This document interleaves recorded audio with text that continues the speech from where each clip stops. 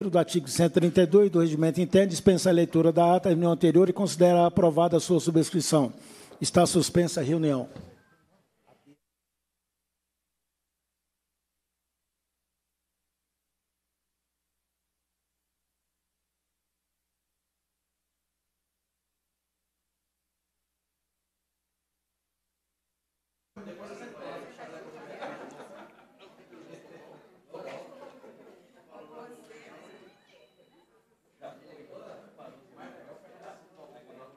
Presidência, dos termos do parágrafo 1 do artigo 132 do Regimento Interno, dispensa a leitura da ata e reunião anterior considera aprovada e solicita sua subscrição. Essa reunião se destina a apreciar a matéria constante na pauta, receber, discutir e votar proposições da comissão. Passa-se a primeira fase. Está suspensa a reunião para resolver um problema técnico. 2 2019.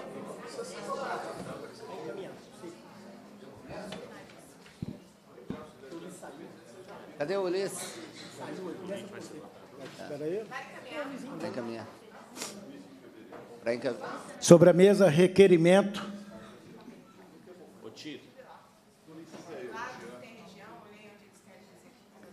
De votação nominal do requerimento que pede a retirada de pauta do PL 1202. Ulisses, não pode ser. Vai começar. Vai encaminhar, presidente. Para encaminhar, deputado Ulisses Gomes. Presidente, senhores deputados, deputadas. Ué, mudou?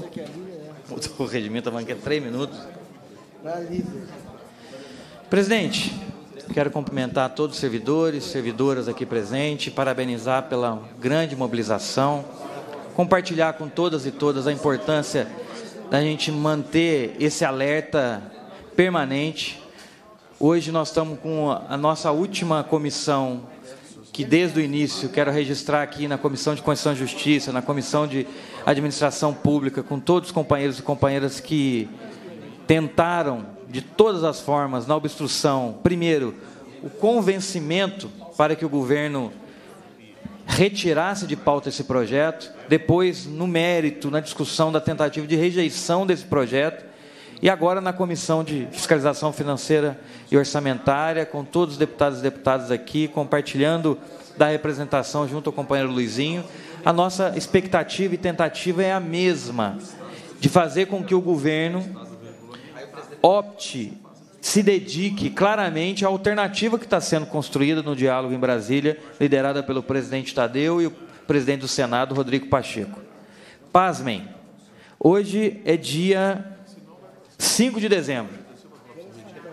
Nós estamos há quase 15 dias da reunião que o, que o governador esteve com o presidente do Senado, Rodrigo Pacheco, há quase duas semanas atrás, em que ele publicamente manifestou o interesse ou a disposição de participar do diálogo da construção dessa alternativa, com um compromisso, que era pedir a prorrogação do prazo do Supremo Tribunal Federal para que haja o tempo para a construção dessa alternativa. Foi isso que ele fez, foi isso que ele falou, deputados e deputadas. No entanto, hoje, dia 5 de dezembro, até o presente momento, o governador não despachou esse pedido. Por isso, a continuidade da tramitação desse projeto nefasto, absurdo, que, como diz os cartazes dos, dos nobres companheiros, é o congelamento das carreiras e salários de todos os servidores e servidoras, que a ampla maioria dos deputados e deputadas dessa casa já compreenderam que não é justo fazer isso com os servidores e servidoras do Estado de Minas Gerais. E por isso esperamos a todo momento que o governador encaminhe o pedido de prorrogação junto ao governo federal para que o Supremo dê um prazo para essa construção de alternativa. No entanto, volto a dizer, dia 5 de dezembro, quase 15 dias depois, o governador não encaminhou um pedido para o Supremo. Como é que o Supremo vai se manifestar de algo que até agora ele não foi provocado? Então é óbvio que o governo está enrolando enrolando o presidente do Senado, enrolando o presidente da Assembleia Legislativa e impondo aos deputados e deputadas dessa casa, que dão sustentação ao seu governo, impondo a eles um desgaste de ter que se manifestarem sobre esse projeto que a ampla maioria já anunciou, já se manifestaram que não é justo.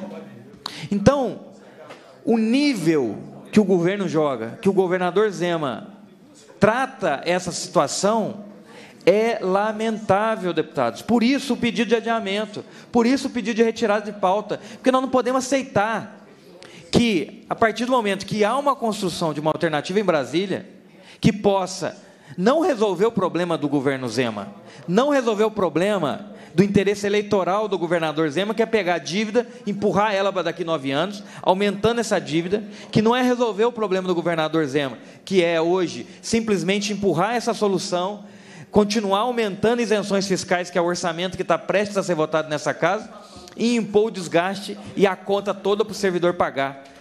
Todo mundo está ciente de que não é isso que nós aqui queremos, mas é o que o governador Zema está querendo, deputado Cleito. Porque ele está enrolando, ele não pede a prorrogação e com isso o projeto continua. Se hoje a base conseguir, ele vai estar tá pronto para plenário, assim como o PLC 38 amanhã estará pronto e quinta-feira o projeto estará no plenário desta casa. Por mais que a gente tente no convencimento, mais que a gente tente na obstrução, nós temos que ser realistas de que a chance desse projeto ir para a pauta na próxima quinta-feira é real.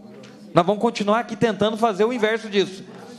Mas também não adianta a gente achar que o tempo não vai se esgotar e de alguma forma vai entrar no plenário. Vai entrar no plenário. E aí, o que o Zema está dizendo é o seguinte: mesmo aqueles e aquelas que são da base, que não querem votar, vão ter que se manifestar a partir de quinta-feira, porque será cobrado de cada um aqui presente e os demais que ao longo das semanas que esse projeto está sendo debatido nas comissões não tiveram a oportunidade de estar nas comissões, estarão no plenário.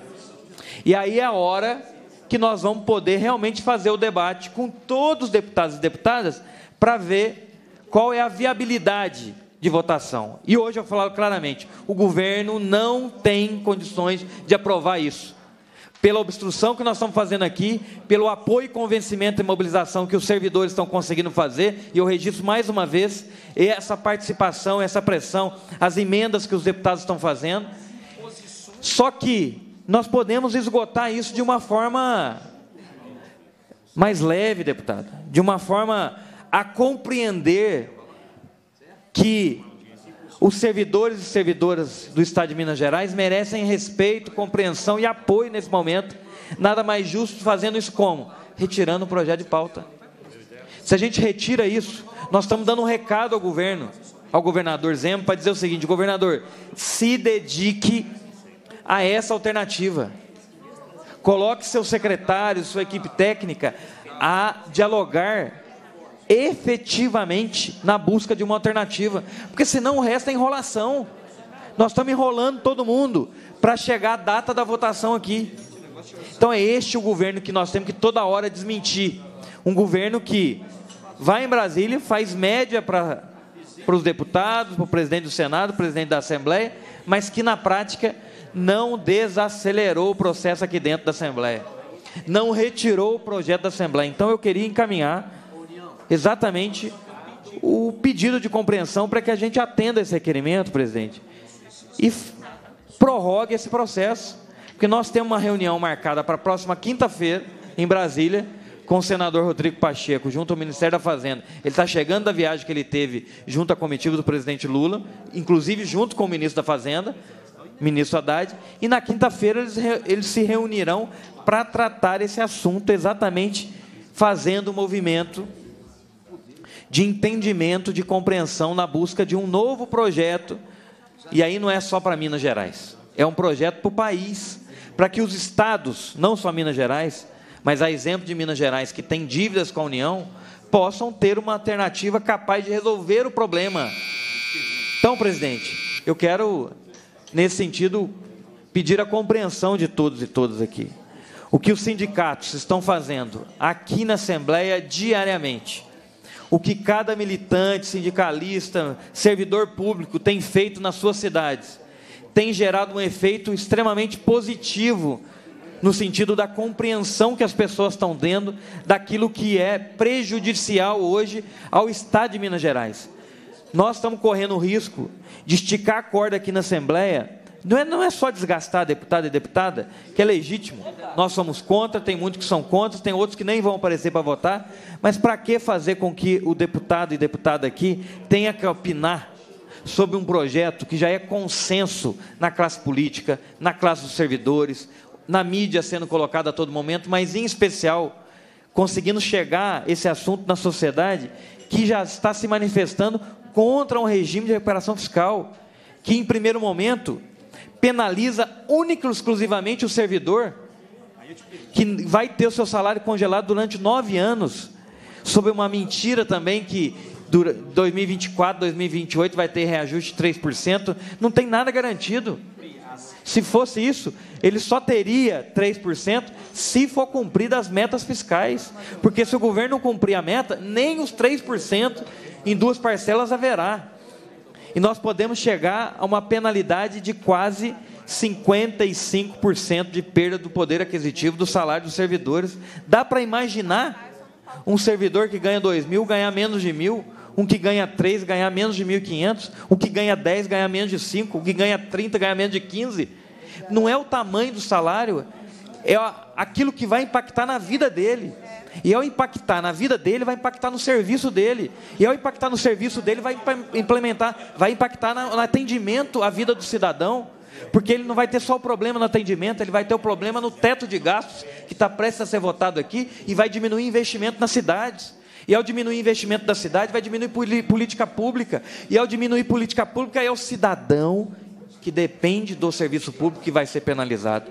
É um efeito cascata que penaliza servidor e o cidadão que precisa do Estado.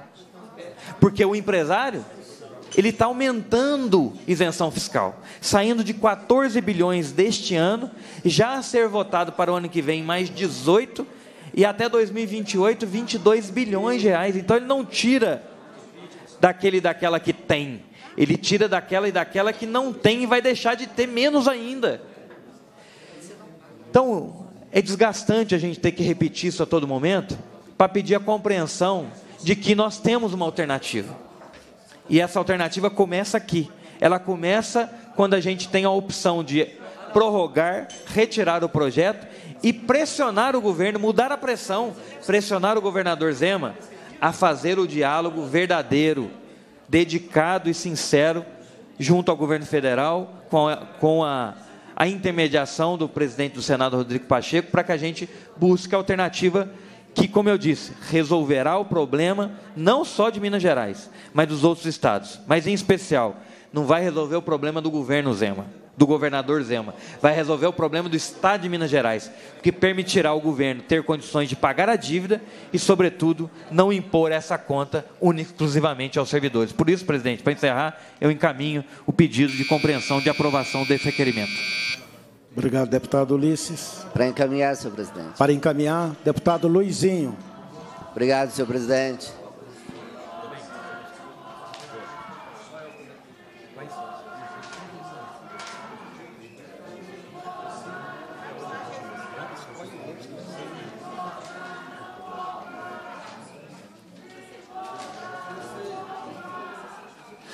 Cumprimentar todos os servidores aqui do Estado, todas as categorias representadas aqui.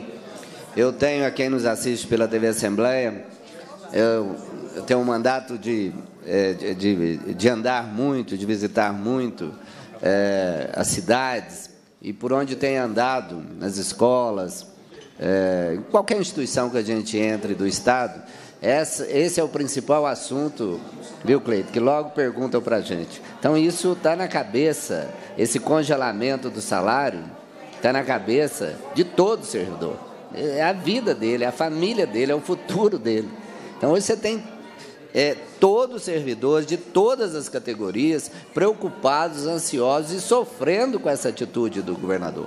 Nunca um tema porque geralmente quando você vai para o embate no sindicato, você vai no embate para aumentar o salário, faz greve legítima, é constitucional, paralisações, para aumentar o salário. Agora, pela primeira vez, você está fazendo um movimento para é, é, é, impedir que faça uma lei que congele os salários. Nem aumento é, nem reivindicação de aumento é. Então, eu tenho visto isso em todas as por exemplo, na, na, educação, as escolas que a gente conversa com os professores, as diretoras, e é um, é um sentimento espalhado e capilarizado que está na cabeça de todos os servidores de Minas e o governador Zema e a sua equipe certamente sofrerá danos irreversíveis é, politicamente é, por essa atitude inusitada de querer congelar a recomposição salarial. Mas eu queria também dizer aqui que essa obstrução, para quem nos assiste, para quem não está aqui no dia a dia do parlamento, a população pode achar que isso está ah, tá obstruindo por obstruir. Mas o embasamento técnico é, da obstrução é até legítimo e bonito na democracia, porque o embasamento técnico é a necessidade de aprofundar o tema. Significa que não há consenso significa que é preciso aprofundar, ou seja, falar mais, falar mais sobre esse tema para que a sociedade tenha conhecimento. Então, isso é, a gente nem deveria chamar de obstrução, mas de necessidade de aprofundamento do tema que se discute. Então, é um instrumento legítimo é, do regimento dos parlamentos que você aprofunde a discussão. Não que obstrua por obstruir, mas o que nós fazemos aqui, por exemplo, a gente tem 10 minutos, e falamos os 10 minutos, e no plenário, é, na votação, fala uma hora, porque é necessário que se aprofunde esse tema e fale mais com a sociedade sobre esse tema, até que se ache é, um meio termo, acha, consensue é, a, o que se está votando. Então, fazendo uma defesa aqui do que a gente chama de obstrução, mas é necessidade, o espírito é a necessidade de debater, aprofundar, ter mais senso crítico e científico, inclusive, sobre o tema e dialogar com a sociedade. Mas também eu queria dizer, viu, Ulisses, o Ulisses está aqui do nosso chefe, que o que o Zema quer mesmo é votar o regime de recuperação fiscal, se beneficiar com ele. E é perigoso, viu, Bia? Porque ao votar aqui, Ulisses, pode ser que o governo, com tantas pautas que tem no, no Brasil, Minas não é. O governo federal não está preocupado só com Minas Gerais. Olha quantos problemas o Brasil tem. Final de ano, inclusive e tal. Pode ser que, se votarmos aqui, o governo federal fala assim: ah, já votou mesmo, agora deixa para lá, porque já que resolveram é, fazer a lei, então vamos deixar para o ano que vem, tem os outros estados. Ou seja, isso sai da mesa do, do executivo, do governo Lula, e vai para as gavetas. É, porque se imagine, nos coloquemos no lugar do presidente Lula. Aí o governador Zema vem aqui, ah, votou a lei, fala, ah, já resolveu, está resolvido, não tem que pagar 18 bilhões mais, ok. Então, Minas resolveu, Minas resolveu aderir. Vamos ver os outros estados. Corremos sério risco se votarmos esse projeto, que está é, tá aí para ser votado quinta-feira, mesmo com esse debate nosso aqui intenso e essa resistência do governo Lula falar, ah, já que votou, Ok, então, já que o Zema não se preocupe. Porque o que eles querem, o que o Zema quer mesmo, gente, é votar o regime de recuperação fiscal, pagar 20 bilhões nos quatro anos dele, deixar 50 bi de serviços da dívida para o próximo governador e 70 para o, o, o sucessor do próximo. Ele mesmo vai pagar 20 bi. Então ele está fazendo uma conta simples, conta de padaria ele apura 80 bi com as privatizações e os ativos que ele tem ainda para receber. 80 bi. Ele paga 20 bi durante quatro anos, sobram 60 bilhões de reais no caixa para ele reeleger o sucessor. É isso que ele quer. Ele não quer negociação com o Rodrigo. Isso é uma falácia. Eles fingem que quer essa negociação. Se quiser, estaria batendo na porta do Lula, estaria sentado lá na porta do Planalto, esperando o Lula. não quer fazer a negociação. Ele quer vender as empresas, entregar para a iniciativa privada, para aqueles que o financiam, para os seus amigos. Ele é um grande empresário, para os grandes empresários amigos dele. Entrega as empresas mineiras, apura dinheiro, paga desses 80 bi que vai se apurar apenas 20 bilhões, porque o, restante, 120 bi, fica para os próximos pagarem, pega 60 bi e reelege o sucessor. É isso que ele quer. Por isso, viu, Bia, que ele está se fingindo de morto aqui. Ah, não sei, não é comigo, não sei por que, que eu não vou lá. E lá na minha terra, no meio da roça, no interior, a gente fala que quando a pessoa fica finge de morto para mamar deitado. Fica fingindo de morto para mamar deitado porque é isso que ele quer.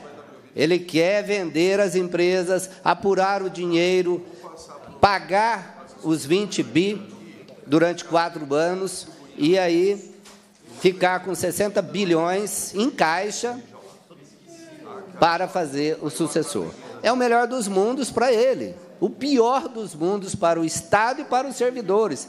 Como ele também não está preocupado com o Estado e muito menos com os servidores, para ele está normal, porque ele quer destruir o Estado, e o Estado não existe, não são prédios, o Estado são as pessoas. Para destruir o Estado de Minas Gerais, tem que destruir quem faz o Estado, que são as pessoas, servidores públicos. Tirar os servidores públicos do Estado, acaba. Não são os prédios. Não são os prédios. Não são os prédios. O Estado de Minas Gerais são os milhares e milhares de servidores e servidoras que ali trabalham. Então ele está, ele tá, na lógica dele, ele está certo. Eu destruo os servidores, destruo o Estado, vendo as empresas, destruo o Estado, recado dinheiro e relejo o sucessor.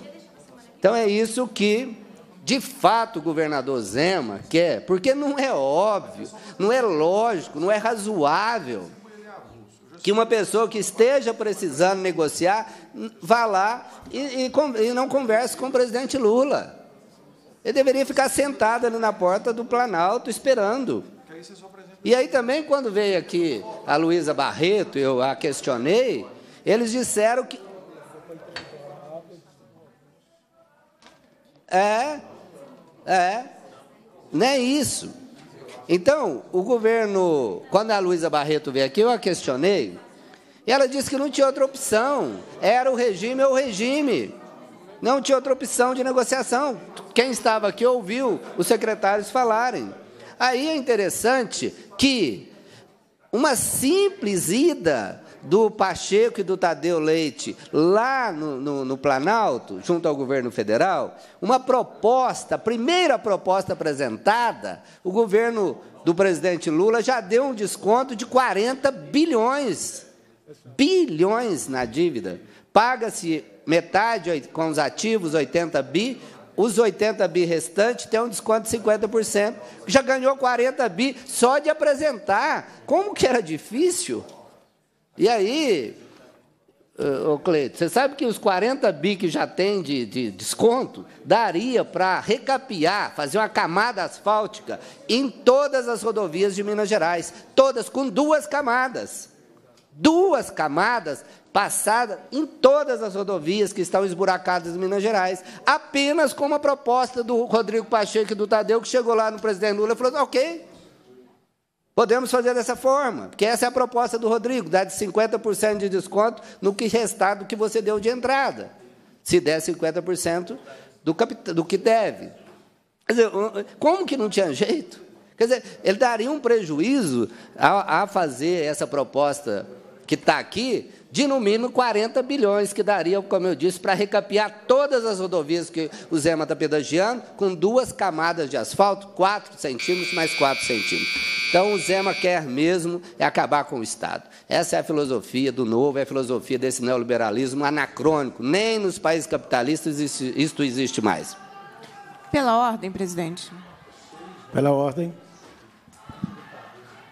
Presidente, mais uma vez, bom dia. Eu gostaria só de explicar é, a todos que estão acompanhando os trabalhos da Comissão de Fiscalização Financeira e Orçamentária que é, o Bloco Democracia e Luta tem duas vagas nesta comissão, é, que são o deputado Luizinho e o deputado nosso líder de bloco, o deputado Ulisses Gomes. Então, eu e o deputado professor Cleiton, que estamos presentes em toda a tramitação do regime de recuperação fiscal, juntamente com o deputado Jean Freire, é, que é o nosso líder de minoria, nós não compomos a, a comissão para votação nesse momento. E esses requerimentos que estão sendo apresentados, ah, o encaminhamento de cada um deles é restrito aos membros que compõem a, o quórum de votação. Então, por isso que nós estamos aqui presentes, atuantes, mas hoje vocês ouvirão menos é, eu, professor Cleiton, que estamos né, em toda a tramitação, exatamente porque estamos muito bem representados pelo nosso líder de bloco, deputado Ulisses Gomes, e o nosso representante aqui na Comissão é, de Fiscalização Financeira e Orçamentária, deputado Luizinho. Muitas vezes, os titulares dessa comissão, de forma generosa, cederam o lugar para que nós também atuássemos, não é? Então, isso aconteceu várias vezes aqui na Comissão de Fiscalização Financeira e Orçamentária. Nós já vimos né, da obstrução na administração pública e continuávamos aqui graças à generosidade dos titulares nossos, né, do Bloco Democracia e Luta, aqui na comissão, que, foi, que cedeu muitas vezes o lugar para que nós pudéssemos dar continuidade ao trabalho iniciado na Comissão de Administração Pública. Então, eu queria explicar e justificar é, que nós não estamos pedindo a palavra, porque esse, todos esses momentos, exceto quando chegar na discussão do projeto, que aí todos os parlamentares têm o direito de discutir, mas encaminhar cada requerimento de votação, ele é restrito aos membros titulares. Então, eu queria era compartilhar essa metodologia que é própria do regimento interno. E, na oportunidade, presidente, eu também queria pedir desculpas a toda a comunidade acadêmica da Universidade Federal dos Vales do Jequitinhonha Mucuri, pedir desculpas, mas dizer que a culpa é sempre do governo Zema, né? Porque dia 5 de dezembro eu deveria estar em Diamantina, numa atividade que é a nona semana de integração, ensino, pesquisa e extensão. Nessa atividade, eu receberia a, o prêmio Enedina Alves Marques, que foi uma notável professora e pioneira é, engenheira brasileira, durante a cerimônia de abertura. Ou seja, eu quero agradecer muito a toda a comunidade acadêmica da Universidade Federal dos Vales do Jequitinhonha e Mucuri por ter me escolhido para ser homenageada pela universidade. A homenagem seria, seria hoje, né? É, a gente custa receber uma medalha que vale a pena receber, não é? É, porque algumas, algumas medalhas a gente recebe pela formalidade do cargo. Eu tenho ciência disso e acho que o rito está valendo. Mas tem medalhas que a gente recebe é, pela origem, né, de onde ela está vindo, que tem uma, um grande valor. E eu liguei agora de manhã para o reitor da universidade, professor Heron, pedi desculpas, disse a ele que, na ordem de prioridades, eu não poderia me ausentar desse dia aqui na Assembleia Legislativa. Estou com o coração tiquim partido, que eu queria estar tá lá na universidade, que é um evento muito bacana. A universidade, eu batalhei muito, eu me somei muito à luta pelo retorno da democracia na universidade, né? Até outro dia tinha na gestão da universidade um golpista, um apoiador do golpismo, que não tinha sido eleito pela comunidade acadêmica, e a comunidade acadêmica resgatou a democracia para a universidade. Então, eu queria estar em Diamantina nessa atividade, recebendo esta medalha, essa homenagem, mas a gente precisa ficar onde as tarefas são é, necessárias. Então, hoje, eu estou aqui acompanhando todos os trabalhos. Então, eu deixo meu abraço a toda a comunidade acadêmica, é, toda a comunidade né, da Universidade Federal dos Vales de Equitinhonha e Mucuri, região, inclusive, em que vários municípios eu sou majoritária, acho que foi uma grande generosidade é, daquela região, né, porque eu sou uma deputada que faço trabalho no Estado inteiro, é, mas me comprometendo a ir à universidade em outro momento, para que nós celebremos esse momento né, da, dessa homenagem é, que a comunidade acadêmica decidiu que eu seria homenageada. Então, quero deixar aqui também a justificativa e meu forte abraço a toda a comunidade que começa hoje né, a Semana de Integração da Universidade Federal dos Vales do Jequitinhonha e Mucuri. Gratidão à, à comunidade acadêmica, à universidade, é, e gratidão por terem compreendido que eu ia me ausentar lá pela necessidade da luta cotidiana aqui ao longo de todo o dia. Obrigada, presidente. Pela ordem, presidente. Pela ordem, Sargento Rodrigues. Presidente, é, da mesma forma, eu queria aqui também cientificar a todos que estão nos acompanhando.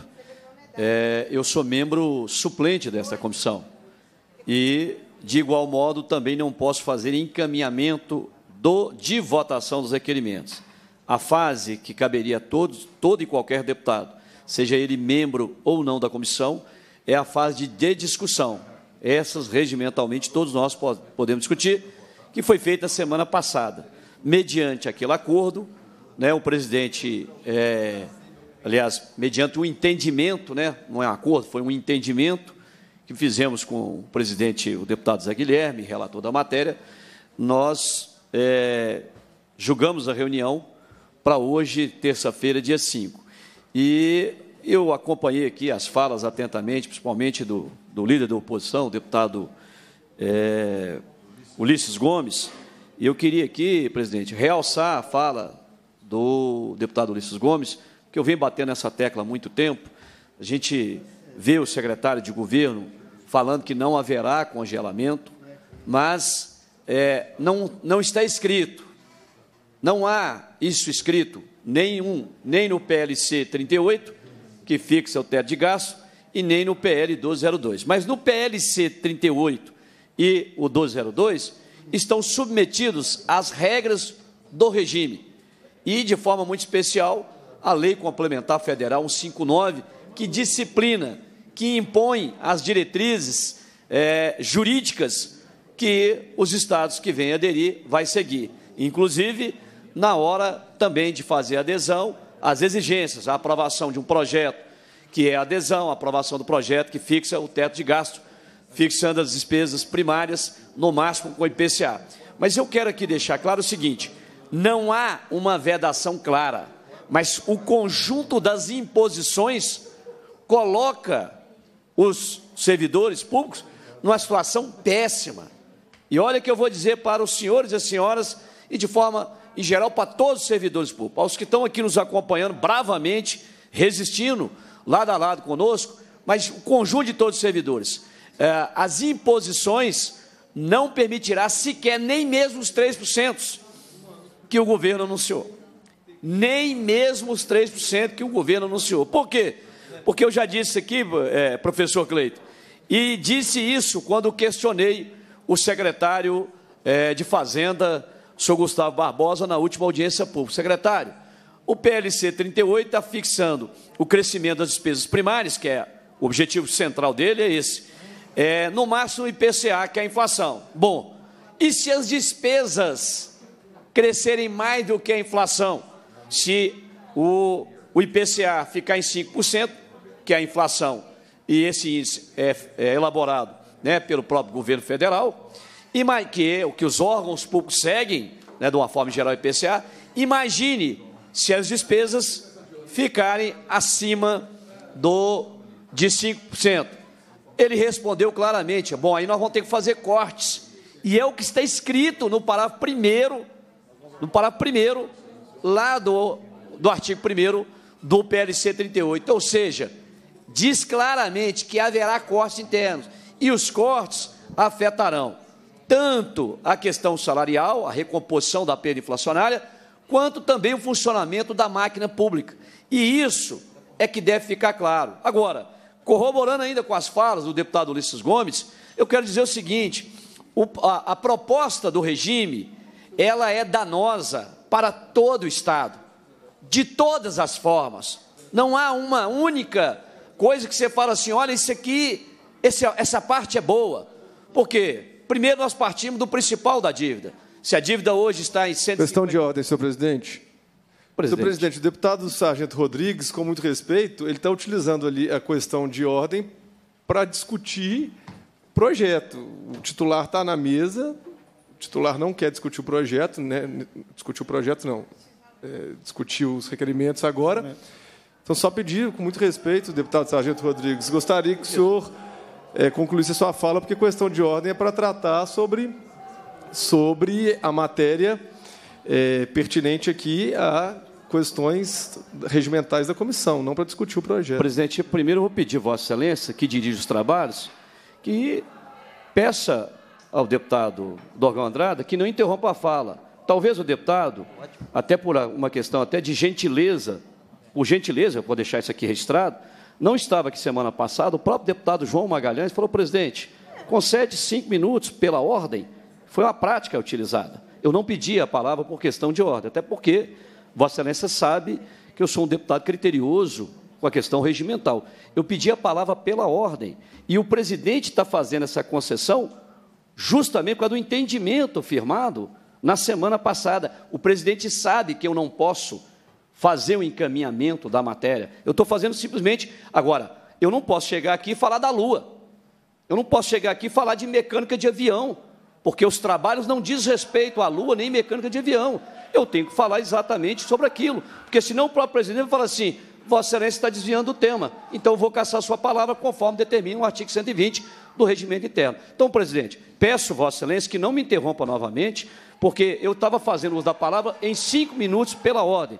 O que eu quero aqui concluir, presidente, primeiro agradecer Vossa Excelência pelo entendimento firmado na semana passada. Segundo, deputado Dorgal, é, Vossa Excelência vai ter oportunidade, inclusive, de votar o projeto e Vossa Excelência tem o direito, como titular, de encaminhar. Mas eu não pedi para encaminhar a matéria, não pedi questão de ordem, eu pedi a palavra pela ordem. De qualquer forma, presidente, mesmo sendo interrompido, eu agradeço Vossa Excelência pela, pela eu diria, é, pelo entendimento firmado e pela gentileza de conceder aquilo que no parlamento é sagrado ao parlamentar. O que o parlamentar tem mais de precioso dentro do parlamento é a voz por isso que o slogan é poder e voz cidadão. Obrigado, presidente. Obrigado. Pela ordem, ordem presidente. senhor presidente. Fui interrompido no meu pela ordem pela continuidade da fala do Sargento Rodrigues. Posso utilizar a palavra? Senhor? Sim, pode usar a palavra, deputado Dorgal. Sargento Rodrigues, com, com muito respeito, né, nós somos colegas, conversamos aqui sempre. Eu sou titular dessa comissão e eu tenho aberto né, muito espaço para o senhor aqui poder participar como, como suplente.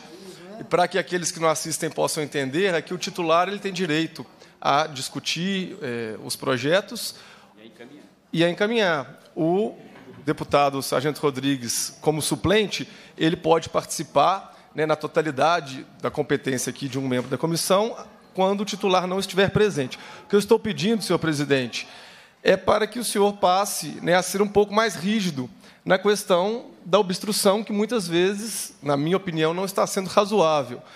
Uma, um pela ordem, uma questão de ordem. Quando é pertinente para discutir matérias relacionadas talvez ao regimento interno ou sobre algum procedimento da comissão, elas são, são adequadas.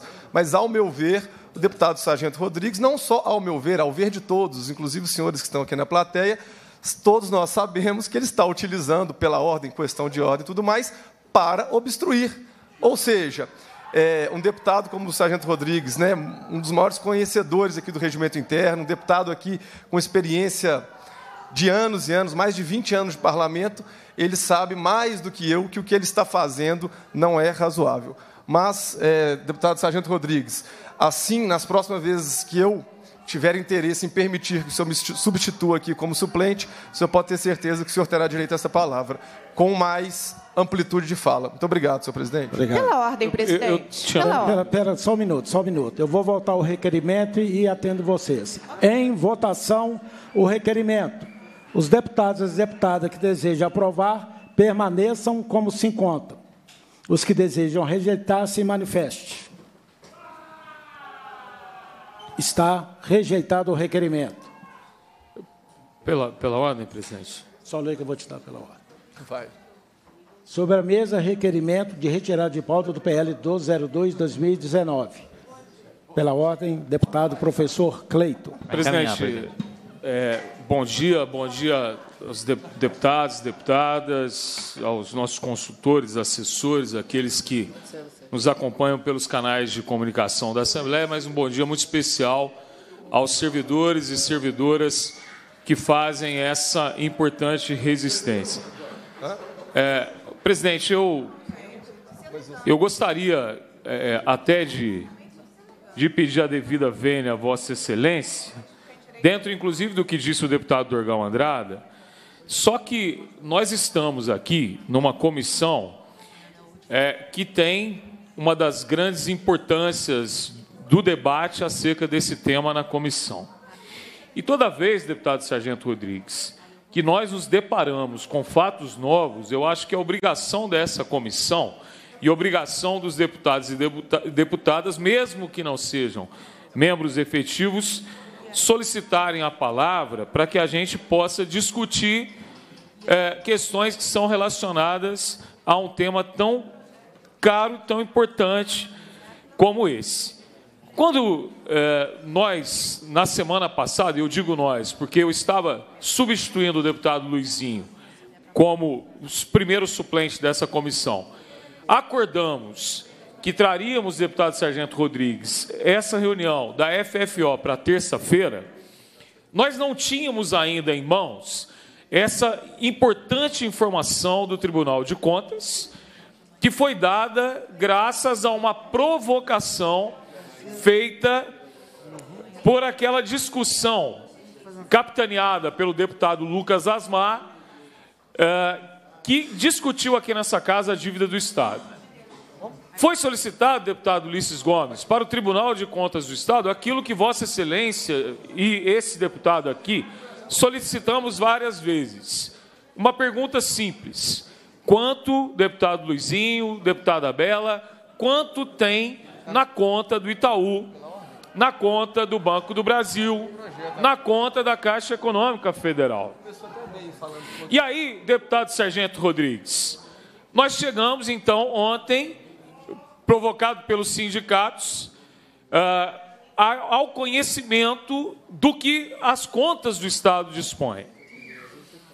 E nós chegamos, inclusive, à conclusão que hoje, se nós fizéssemos uma conta básica, porque nós sabemos que a arrecadação do Estado ela aumenta consideravelmente no último quadrimestre, e nós temos uma média de arrecadação livre do Estado de um bi e meio nos últimos três meses, o que teríamos em conta hoje seria aproximadamente 28 bilhões. Esses 28 bilhões, diz o Estado numa nota, que existem as despesas, que são despesas imediatas, mas as receitas imediatas? Portanto, aquilo que está no site do Sinfas Fisco, chamado mentirômetro, é muito coerente com o que nós nos deparamos nessa questão do Tribunal de Contas do Estado. E por que, que eu peço aqui o pela ordem, presidente? Porque, mais uma vez, eu quero insistir Estamos aqui tendo um desgaste enorme, e quando essas informações elas chegarem à Secretaria do Tesouro Nacional, quando, quando essas informações chegarem na Procuradoria-Geral da Fazenda Nacional, sobretudo essa última informação de que o Estado, com esse recurso em caixa, ele não é insolvente, esse regime vai tomar bomba, falando no português popular. Mas o mais revoltante de tudo também, e aí eu quero fazer coro a, aos deputados que me antecederam, sobretudo ao deputado Ulisses Gomes e ao deputado Luizinho, é de que hoje nós estamos já em 5 de dezembro e até esse momento o governador do estado ele não pediu a prorrogação do prazo que vence no dia 20 de dezembro. E eu quero mandar um recado para o governador e para o governo: não adianta chantagear a Assembleia. Não adianta colocar uma faca no nosso pescoço dizendo que se nós continuarmos a obstrução, de que se caso o regime não seja votado e houver um atraso do salário dos servidores, a culpa vai cair nas costas da oposição. Os servidores entenderam que é muito melhor nós derrubarmos o regime e você ter um salário escalonado do que uma perda de 50% dos seus salários nos próximos nove anos. Então, essa narrativa, presidente, ela não vai colar entre os servidores. Então, eu peço, presidente, aqui, nesse pela ordem, que nós tenhamos mais tempo para nos debruçarmos sobre aquilo que o Tribunal de Contas informou e que é o momento, inclusive, de nós aguardarmos essa reunião de quinta-feira, onde eu tenho certeza que nós sairemos com uma solução melhor do que essa apresentada no fatídico regime de recuperação fiscal, que eu tenho chamado de a pior lei da história de Minas Gerais. Obrigado, presidente. Para encaminhar, deputado Ulisses Gomes. Presidente, senhores deputados, deputadas, nós estamos na tentativa, mais uma vez, agora, de pedir a retirada, não é isso? Sim. Nós pedimos um adiamento e agora a retirada. Já vencemos o prazo todo de discussão e agora tentando a retirada da votação.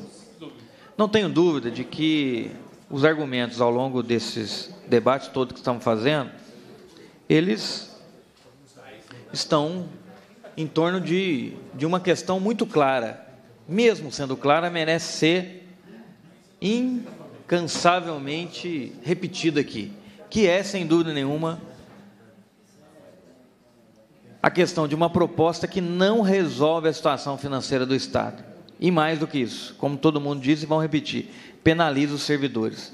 Eu compreendo, respeito o posicionamento político de Vossas Excelências, mas está claro para nós que se não houver uma articulação e um recado da Assembleia Legislativa, e nesse caso une oposição e situação, não precisa nem rotular partido A, partido B, mas até porque nós temos nesse movimento contrário, é importante que se reconheça, deputados de vários partidos, a oposição está unida, unânime nisso, é verdade, mas é verdade também que nós temos deputados de várias outras siglas partidárias e de vários blocos aqui na casa.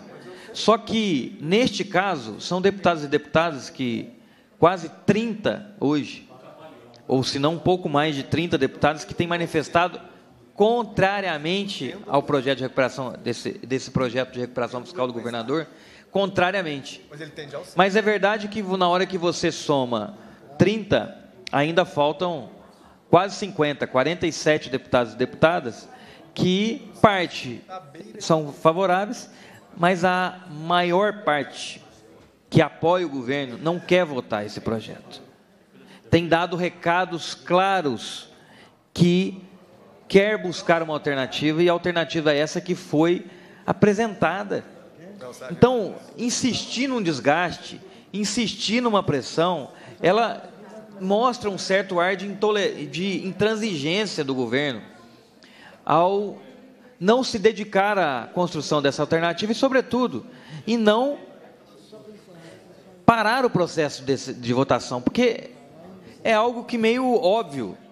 Você tem uma maioria que não quer votar, ela, se, ela é maioria porque ela soma aqueles que, não, que são contra e aqueles que não necessariamente querem votar contra, mas querem uma alternativa. Então, o fato é que eles não querem votar este modelo. Então, você tem uma ampla maioria na Assembleia Legislativa que não quer votar. Você tem um movimento político sendo construído por. Por que, que ele está sendo construído? Porque ao longo de cinco anos, Minas Gerais está sendo governada por alguém que não sentou na cadeira de um líder, de um estadista, de um governador que pensa o Estado. Está sendo conduzida por alguém que tem um interesse político, eleitoral, ideológico claro, que é sucatear o serviço público, que é tirar os investimentos daqueles e daquelas, porque só você ver, se alguém apontar políticas públicas que tem mudado a vida do trabalhador, do cidadão comum, a gente volta a discutir a questão do Estado. Mas o que nós estamos vendo aqui é um governo que, ao longo dos últimos anos, implementou políticas focadas claramente no seu interesse eleitoral. Numa disputa ideológica, que ganhou a eleição no primeiro turno, não desceu do palanque até agora, que ataca o governo do presidente Lula legitimamente eleito, não buscou diálogo em nenhum momento. E na primeira alternativa, que o presidente do Senado tem o gesto de ir buscar uma alternativa com o presidente Lula, tem a manifestação de uma alternativa que resolve o problema do Estado. Então, o que, que era óbvio nesse momento? O que, que era óbvio? Parar com o processo, parar com a votação. Óbvio, não tem porquê. Ou não, ou não vá a Brasília, como ele fez aquele gesto. Se ele foi, né? vamos, vamos recapitular. A gente cobrando, pressionando, ele se nega, se nega, ataca. O presidente Tadeu vendo isso, sabendo que os deputados, porque a gente está vivendo aqui dentro, não é o governo, o governador que está aqui, secretários que estão aqui. Esses dias eu tive que dar uma entrevista porque teve um secretário de infraestrutura do Estado que veio dar palpite aqui que o projeto tinha que ser votado. O cara não dá, dá conta nem da secretaria dele, não roda um processo lá dentro. Os deputados têm emendas aqui que não, que não anda um processo porque diz que não tem técnicos lá dentro capazes de fazer isso. Ou seja, o secretário não dá conta de cuidar da sua pasta, nem dá palpite aqui dentro de que o projeto tem que ser votado. Não dá conta de resolver o problema de infraestrutura no Estado, dos buracos das nossas estradas, a não ser a alternativa de privatizar de pedagiar as nossas estradas. E vem dar palpite aqui dentro. Então, olha só que, que coisa doida. Um governador que não constrói politicamente, que não dialoga. Secretários que não dão conta de cuidar da sua pasta e vem dar palpiteco aonde não conhece nada do processo. E o governador, diante de toda a pressão e cerco que foi construído em torno dele, porque está claro que a Assembleia absoluta, vou repetir isso toda vez, a maioria não quer votar esse projeto, a maioria soma-se quem é contra e quem quer buscar uma alternativa. Então a grande maioria aqui é só arriscar. Nós não vamos parar a obstrução, mas dava para dava arriscar aqui. Para a obstrução e põe para votar no plenário hoje. Eu duvido que aprova. Duvido. Porque tem o um convencimento da obstrução das dezenas de deputados e deputadas aqui e tem a mobilização de todos os servidores que nós conquistamos a consciência da maioria dos deputados e deputadas e da maioria dos cidadãos e cidadãs que acompanham a política e sabe do quanto esse projeto é perverso, quanto ele é injusto. Então dá até para arriscar. Quer votar no primeiro turno? Vamos votar. Para a gente ver a opinião dos deputados, para dar um recado para o governador de que ele errou a mão ao apresentar esse projeto. Ele, ele erra na condução do processo deste ano, no seu segundo governo, quando não desce do palanque, fica atacando o governo e não assume da sua responsabilidade de como governador e buscar um diálogo. Como o deputado Luizinho disse, na primeira conversa com o presidente Lula, já teve a compreensão de um acordo que dá a possibilidade de um desconto gigantesco de juros e multas sobre essa dívida. Então, nós queremos um governador que quer resolver o problema seu, político, eleitoral, de vender a imagem de um bom gestor que resolveu as contas do governo, que é uma mentira, ou nós queremos resolver o problema do Estado de Minas Gerais, que é resolver o problema da dívida. Então está claro isso. Só que para isso ser efetivo da parte do governo, só tem uma forma.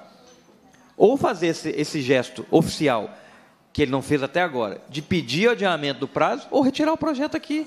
Retira. Acaba, acaba a discussão.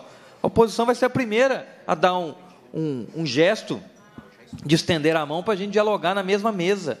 Porque nesse, nessa discussão não é para ter lado, governo e oposição, servidores e governo. É para ter todo mundo numa mesa redonda e falar o seguinte: vamos resolver o problema do Estado. Um Estado que durante os últimos cinco anos, sobretudo o ano passado, em que nós tivemos que entrar na justiça para conseguir o saldo bancário, todo ano se negando a ter o saldo bancário, e agora o Tribunal de Contas, os sindicatos divulgaram ontem, encaminhou a documentação dizendo que tem quase, tem mais de 23 bilhões de reais nas contas bancárias do Estado. Um Estado que dá conta de acertar suas contas, mas resolve apertar na vida do cidadão. Direta e indiretamente. Indiretamente, ao tirar investimentos públicos, e penalizar a vida do, do, do, servidor público diretamente, o que, consequentemente, como eu disse, vai chegar na precarização do serviço. Então, deputados e deputadas, ou a gente tem essa compreensão de dar um recado ao governador de que precisa parar esse processo aqui, se dedicar a uma alternativa, alternativa essa que não tem lado, ela é numa mesa redonda não tem governo federal e governo estadual, não tem assembleia, oposição e governo. Tem uma mesa redonda com servidores juntos, discutindo o seguinte: como a gente resolve o problema de Minas Gerais? Vai ser fácil? Não. Ninguém está dizendo que a solução é fácil. Vai ter aperto para todo mundo, mas que tenha para todo mundo. Não pode ter para um lado só. Não pode o servidor pagar sozinho, porque quem faz o plano não é o governo federal. não é a Secretaria do Tesouro Nacional. Existe uma lei federal com critérios. O Tesouro recebe e avalia. Cumpriu critérios? Ok. Não, corrige aqui. Outra, cumpriu a, a meta fiscal? Só que essa meta fiscal, o Tesouro Nacional não pode mexer. Quem faz a opção se apertar de um lado ou apertar de outro, se é pagar a conta no começo ou pagar no final, é o governo. E qual a opção que ele fez ao apresentar o plano? Empurrar para o final a conta, cobrar do servidor agora, aumentar a isenção fiscal das empresas e fazer apenas um lado pagar a conta. Então, quando surge a alternativa, que estavam na mesa, nessa roda de conversa, todos os líderes dessa casa, consequentemente representando todas as deputadas e deputadas, e todos manifestam a disposição, o interesse em se dedicar e apoiar a alternativa a ser apresentada nesse diálogo de construção com o governo federal, a coisa mais óbvia, real e concreta para que isso se tornasse viável é a prorrogação do prazo ou a retirada desse projeto. Agora, nenhuma das coisas está acontecendo. O governador não pede a prorrogação e a casa continua tramitando porque o governador não retirou. Então, então o governo se manifesta com essa, com essa negativa, com esse gesto, a clara opção de que o que ele quer, e ele tem sido irredutível, é penalizar o servidor e votar esse projeto. Então, vamos para a votação desse plenário para cobrar, obviamente, dos deputados essa unidade de que nos bastidores nós estamos sentindo, porque isso é um recado, não é, é de disputa interna aqui na casa, é um recado para o governo. Mude os rumos encontre a alternativa desse projeto, porque este vai ser rejeitado na casa e é por isso que eu estou pedindo o um encaminhamento de aprovação desse requerimento, presidente, para a gente retirar de pauta a votação. Para encaminhar, deputado Luizinho. Senhor presidente, volto a reforçar aqui a necessidade de retirarmos esse projeto, pois não há nenhum deputado aqui, deputada, que defenda esse Aliás, eu vou pedir para fazer rapidamente aqui, Bela, para a gente, vou mostrar ali, por que, que o Zema tem dinheiro em conta? Não é porque ele é um bom gestor, não, porque ele pôs Minas nos trilhos. Até falei aqui sobre é, uma fábula do, do, do, Hans Christian, um escritor dinamarquês, que, ele, que é a fábula do rei que está nu. Né? O rei está nu era um alfaiate, vigarista, que fingiu costurar uma roupa invisível, que só os inteligentes podiam vê-la. E ele ficou tão famoso e todo mundo chegava, ah, a roupa, a roupa é bonita, a cor é bonita. Ninguém queria se dizer burro, né? Que todo mundo queria se dizer inteligente. É o rei falou assim: "Não, eu quero que faça essa roupa para mim". E foi desfilar com a roupa do alfaiate vigarista que que tecia uma roupa cujo tecido era invisível. E começou a desfilar e todo mundo elogiando, um dizendo: Ó, oh, que belo o rei, ó, oh, o rei, o rei, o rei, o rei, que bela roupa do rei. Até que uma criança lá no fundo gritou: Gente, o rei está nu. Aí caiu por terra aquilo, todo mundo viu que de fato era é, a bajulação, né? E as pessoas se acharem inteligentes. Parece que o Zema se acha inteligente, né? Ele acha que é um bom gestor. É, os que estão em volta dele acham que são bons gestores, são péssimos gestores, estão nus. Então, vou mostrar, usar o tempo aqui, pedir para fazer rapidamente, eu nem vi, deve ter algum, alguns erros ali, mas fazer uma comparação, por exemplo, com o governo Pimentel. Durante os quatro anos do governo Pimentel, é, foram pagos os serviços da dívida é, 24 bilhões de reais. 24 bilhões de reais o Pimentel pagou. Se a folha de pagamento da época do Pimentel eram 3 bilhões, se o Pimentel tivesse ficado com esse dinheiro em caixa, ele teria 20, se não tivesse dado calote no serviço da dívida, ele teria em caixa 21 bilhões de reais. Teria colocado a folha em dia, um mês atrasado, e seria reeleito, certamente, porque teria esse dinheiro. O governador Zema, ele deixou de pagar 36 bilhões de reais 36 bilhões de reais. Ele ficou no caixa. Não é que ele deixou de pagar, não, porque os juros e os serviços da dívida são retidos no Fundo de Participação do Estado. Então, o governador Zema recebeu esse dinheiro, ele deixou de, de pagar 36 bilhões e recebeu, é, livre de Brumadinho, é, 11 bilhões de reais. 11 bilhões de reais. A folha de pagamento do Zema, 5 bilhões. Ou seja, se ele pegar os 42 bilhões, pegar a, as prefeituras, 5 bilhões, pôs a folha em dia, pôs, as prefeituras parcelou, estamos colocando ali 7 bilhões das prefeituras parcelados. Se você tirar dos 47 bilhões, menos a folha, menos as prefeituras, sobram 35 bilhões de reais. O dinheiro sobrou no caixa do Estado. Qualquer um de nós aqui com esse volume de dinheiro, eu teria que ter dinheiro. Onde que. Né? Não tem como não ter. Deixou de pagar. E a dívida saltou de 110 bi para 160 bi. Endividou Minas, quebrou Minas. Como que um governo desse fala que é bom gestor? Quer dizer, é completamente nu esse governador, não é bom gestor, não faz uma boa gestão, e na hora de negociar a dívida, eu vi uma entrevista dele no tempo, eu falei assim, bom, ele não leu o projeto de, de que nós estamos votando aqui, o regime de recuperação fiscal. Não leu, porque ele falou de 30 anos, falou que era um refis da iniciativa privada. Ele não leu, porque refis na iniciativa privada sempre é perdão de juros e multas.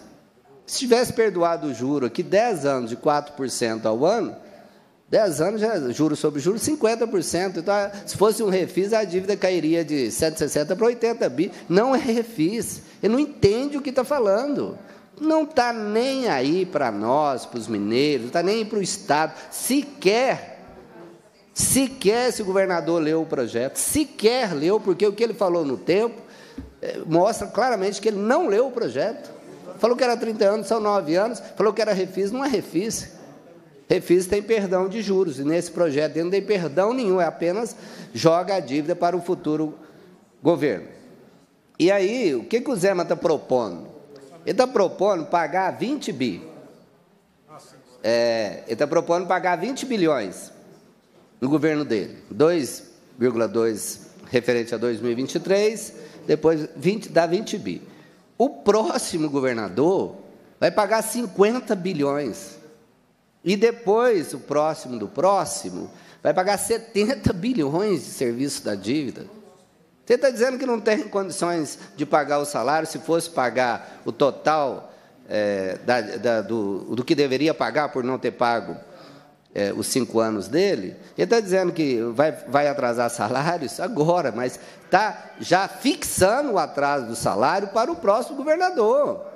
Além de não ter aumento, além de não ter recomposição salarial, com esse projeto do Zema, ele está fixando o atraso do salário dos servidores para o próximo governo, que é impossível você pagar 50 bilhões de reais em quatro anos.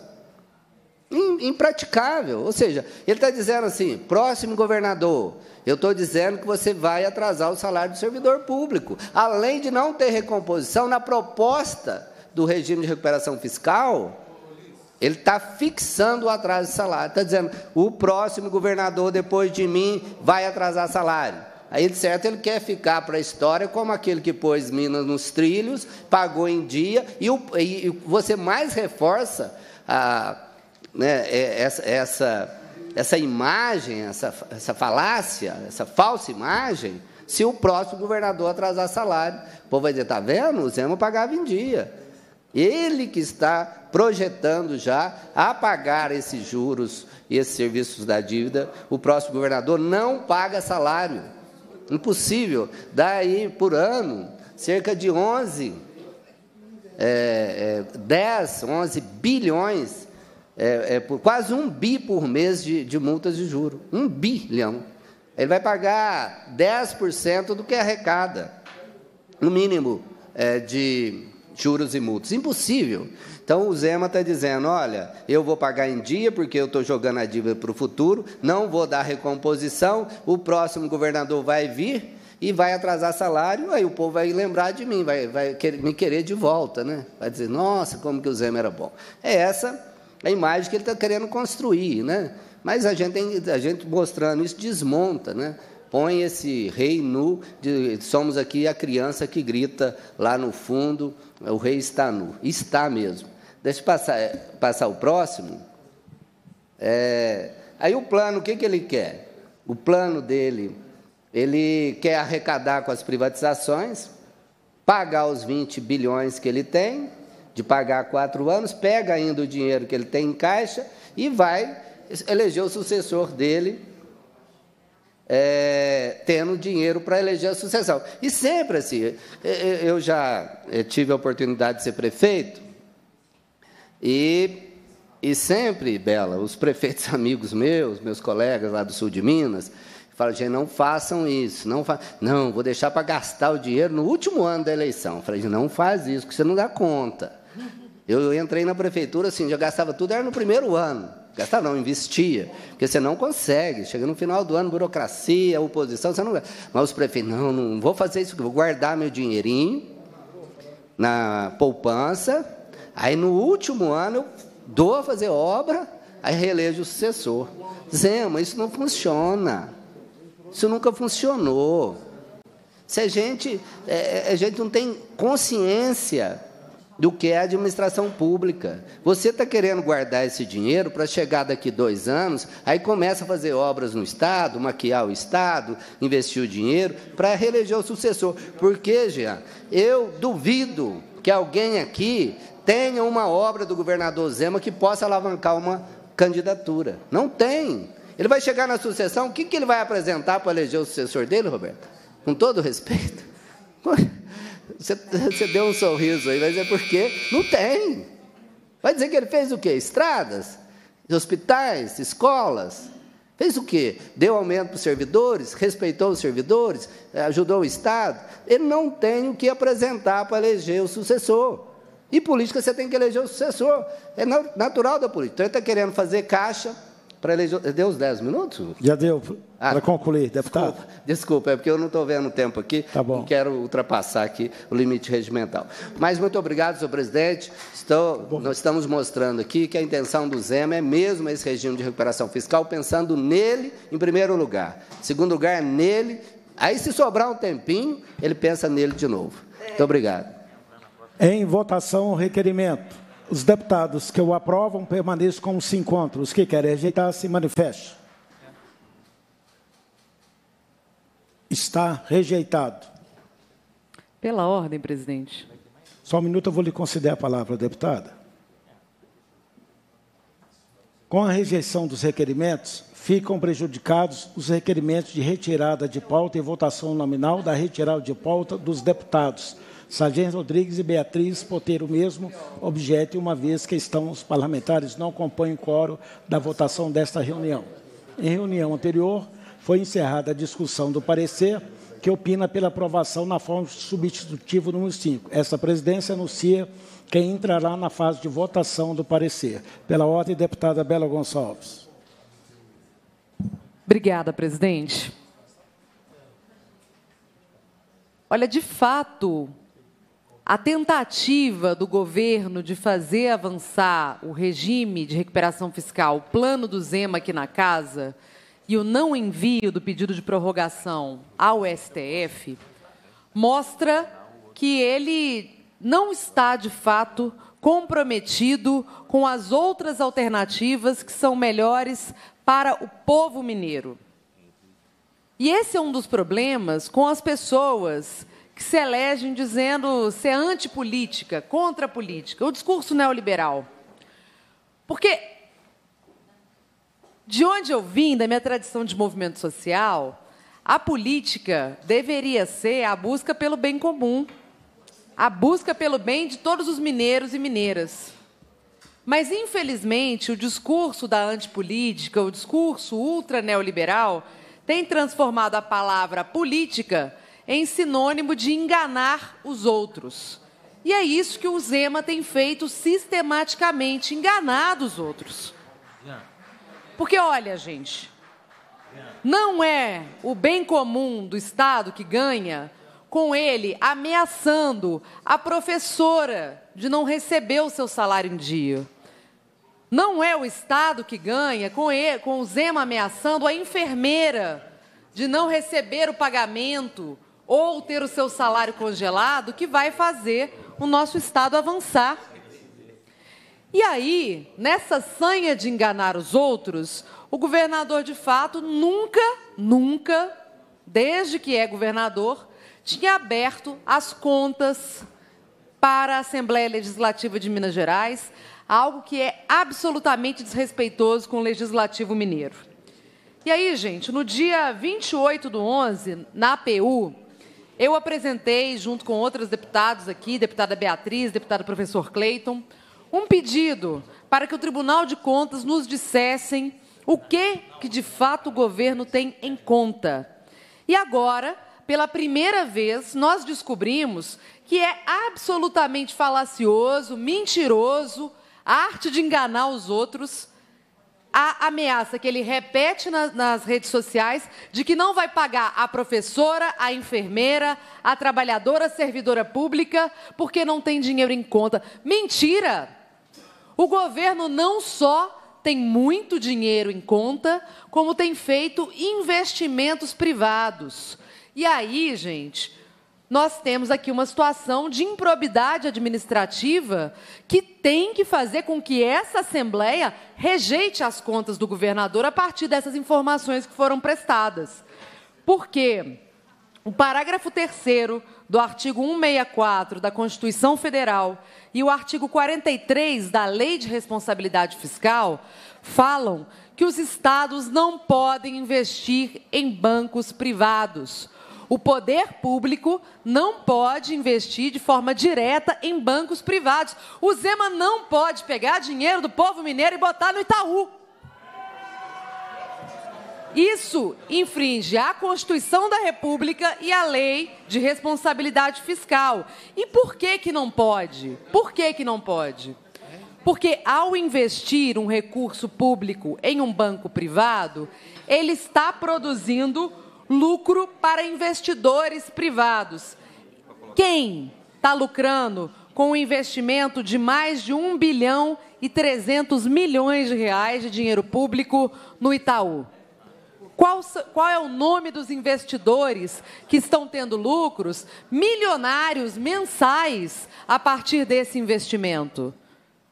Que mesquinharia ameaçar professora e enfermeira de posto de saúde, enquanto o recurso público que está sendo aplicado graças ao calote na dívida, como o deputado Luizinho bem explicou, está dando lucro para algum engravatado, provavelmente amigo do rei, provavelmente aliado também do governador Romeu Zema, além do capital internacional ligado ao Banco Itaú.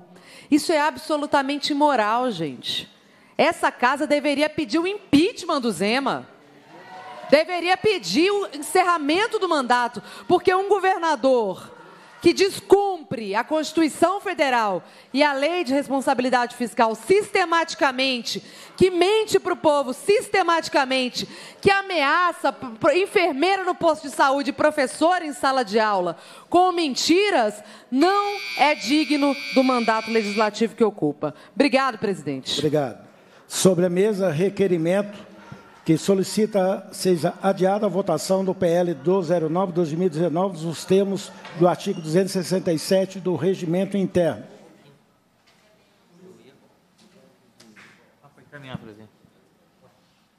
Antes, porém, a presidência reforma despacho anterior e deixa de receber, nos termos do artigo 173, 1 do Regimento Interno, as propostas de emenda número 695, 696, 738, 739, 741, 1219 e 1488 ao projeto de lei 12.002-2019 por não estarem redigidas com clareza e observância da técnica legislativa Essa presidência comunica ainda a retificação do número de propostas de emenda recebidas ao projeto de lei 1209 de 1.638 para 1.629.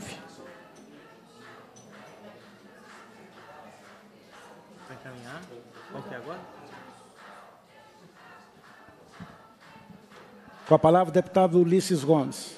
Presidente, senhores deputados, pedido de adiamento da, da votação, presidente, é a última alternativa que nós temos, deputado Luizinho, e tentar prorrogar esse prazo, de, obviamente, fazer com que os deputados e deputadas aqui tenham a oportunidade de, no tempo que ainda nos resta até o prazo né, que vence a possibilidade do governo assinar o regime de recuperação fiscal, a gente pressionar e convencer o governo a se dedicar à construção dessa alternativa. Nós temos notícia que os secretários de governo e da Fazenda foram a Brasília hoje, mas a gente a está vendo que não há uma dedicação, deputado Jean, é, daquilo que é importante. Porque quando você quer algo, e é importante para você, você não tem tempo, não tem hora, não tem momento, não tem feriado, não tem final de semana. Você se dedica realmente quando você acredita, precisa e quer aquilo.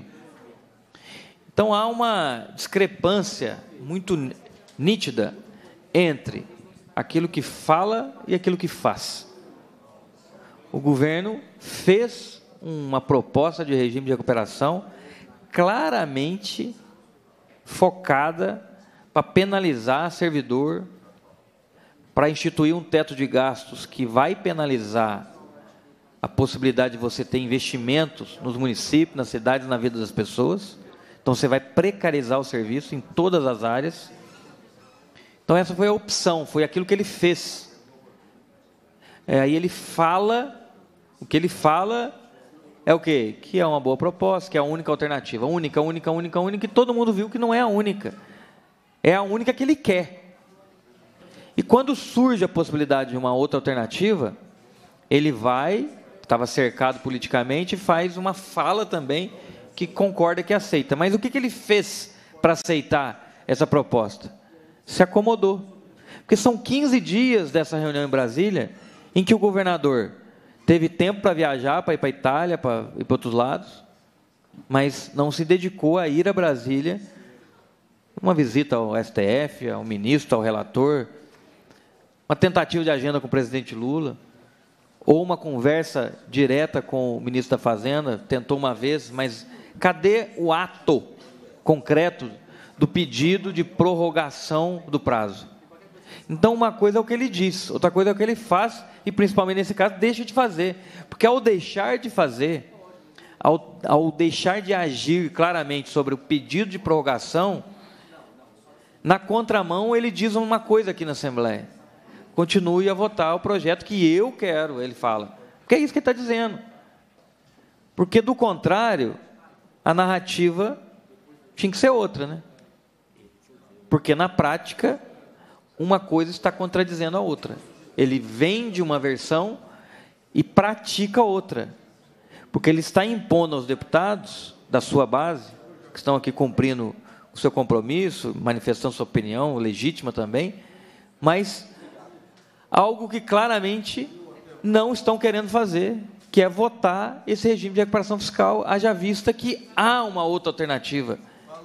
Porque o governador já foi desmentido.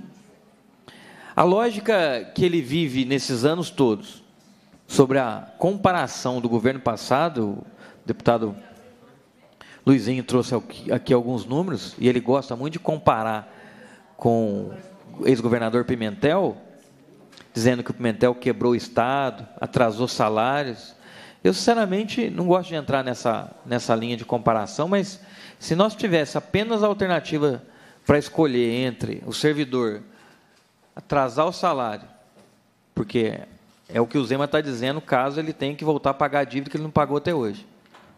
Porque o Pimentel atrasou porque retinha o salário, retinha o pagamento da, da dívida, que ele pagava, porque era retido. Né? Cada um escolhe, ah, ele pagava porque era retido, é retido porque pagava. Né? Depende da, Mas, tirando essa questão, o, o, os, o Caixa do Estado, governado, vão lembrar, 20 anos pelo PSDB, que não deu conta de encontrar solução, esses tempos aí a gente viu agora que é, o debate da dívida veio à tona, os oportunistas de plantão, todo mundo querendo achar solução, mas governaram o Estado durante muito tempo afundaram o Estado. Para fechar o último ano do governo PSDB, eles acabaram aqui uma lei em 2014, acabaram com o Fundo de Previdência dos Servidores, na ordem, o antigo FUPENG, com 5 bilhões de reais, se apropriaram desse dinheiro para fechar as contas do Estado. Pegou o dinheiro do Ipsenga, a deputada Bia está me lembrando aqui. Então, lá atrás, a gente já via que eles estavam entregando o Estado, eles perderam a eleição quebrado. E o governador Pimentel pegou o Estado nessa situação, quebrada. Ele conseguiu, no primeiro ano, recursos extras dos depósitos judiciais, e mesmo com a dificuldade do Estado, ele ainda, naquele momento, fez um gesto, uma aprovação fundamental, que foi a aprovação do piso nacional salarial no primeiro ano, que garantiu aos servidores da educação o pagamento do piso nacional, que até então não era pago em Minas Gerais. Então, o governo pagava a dívida, o Pimentel no primeiro ano pagou dívida, deu reajuste aos servidores e nós conseguimos avançar naquele ano. Nos anos seguintes, veio o golpe na presidenta Dilma, ele perdeu a possibilidade do diálogo institucional democrático com o governo federal e as alternativas que estavam sendo construídas para a solução da dívida naquele momento foram esgotadas, mas ele continuou pagando a dívida que era retido o recurso de transferência por Estado e, infelizmente, não conseguindo mais recursos extras, conforme o governo passado tinha conseguido e ele tinha conseguido no início do seu governo, as contas realmente não fechavam.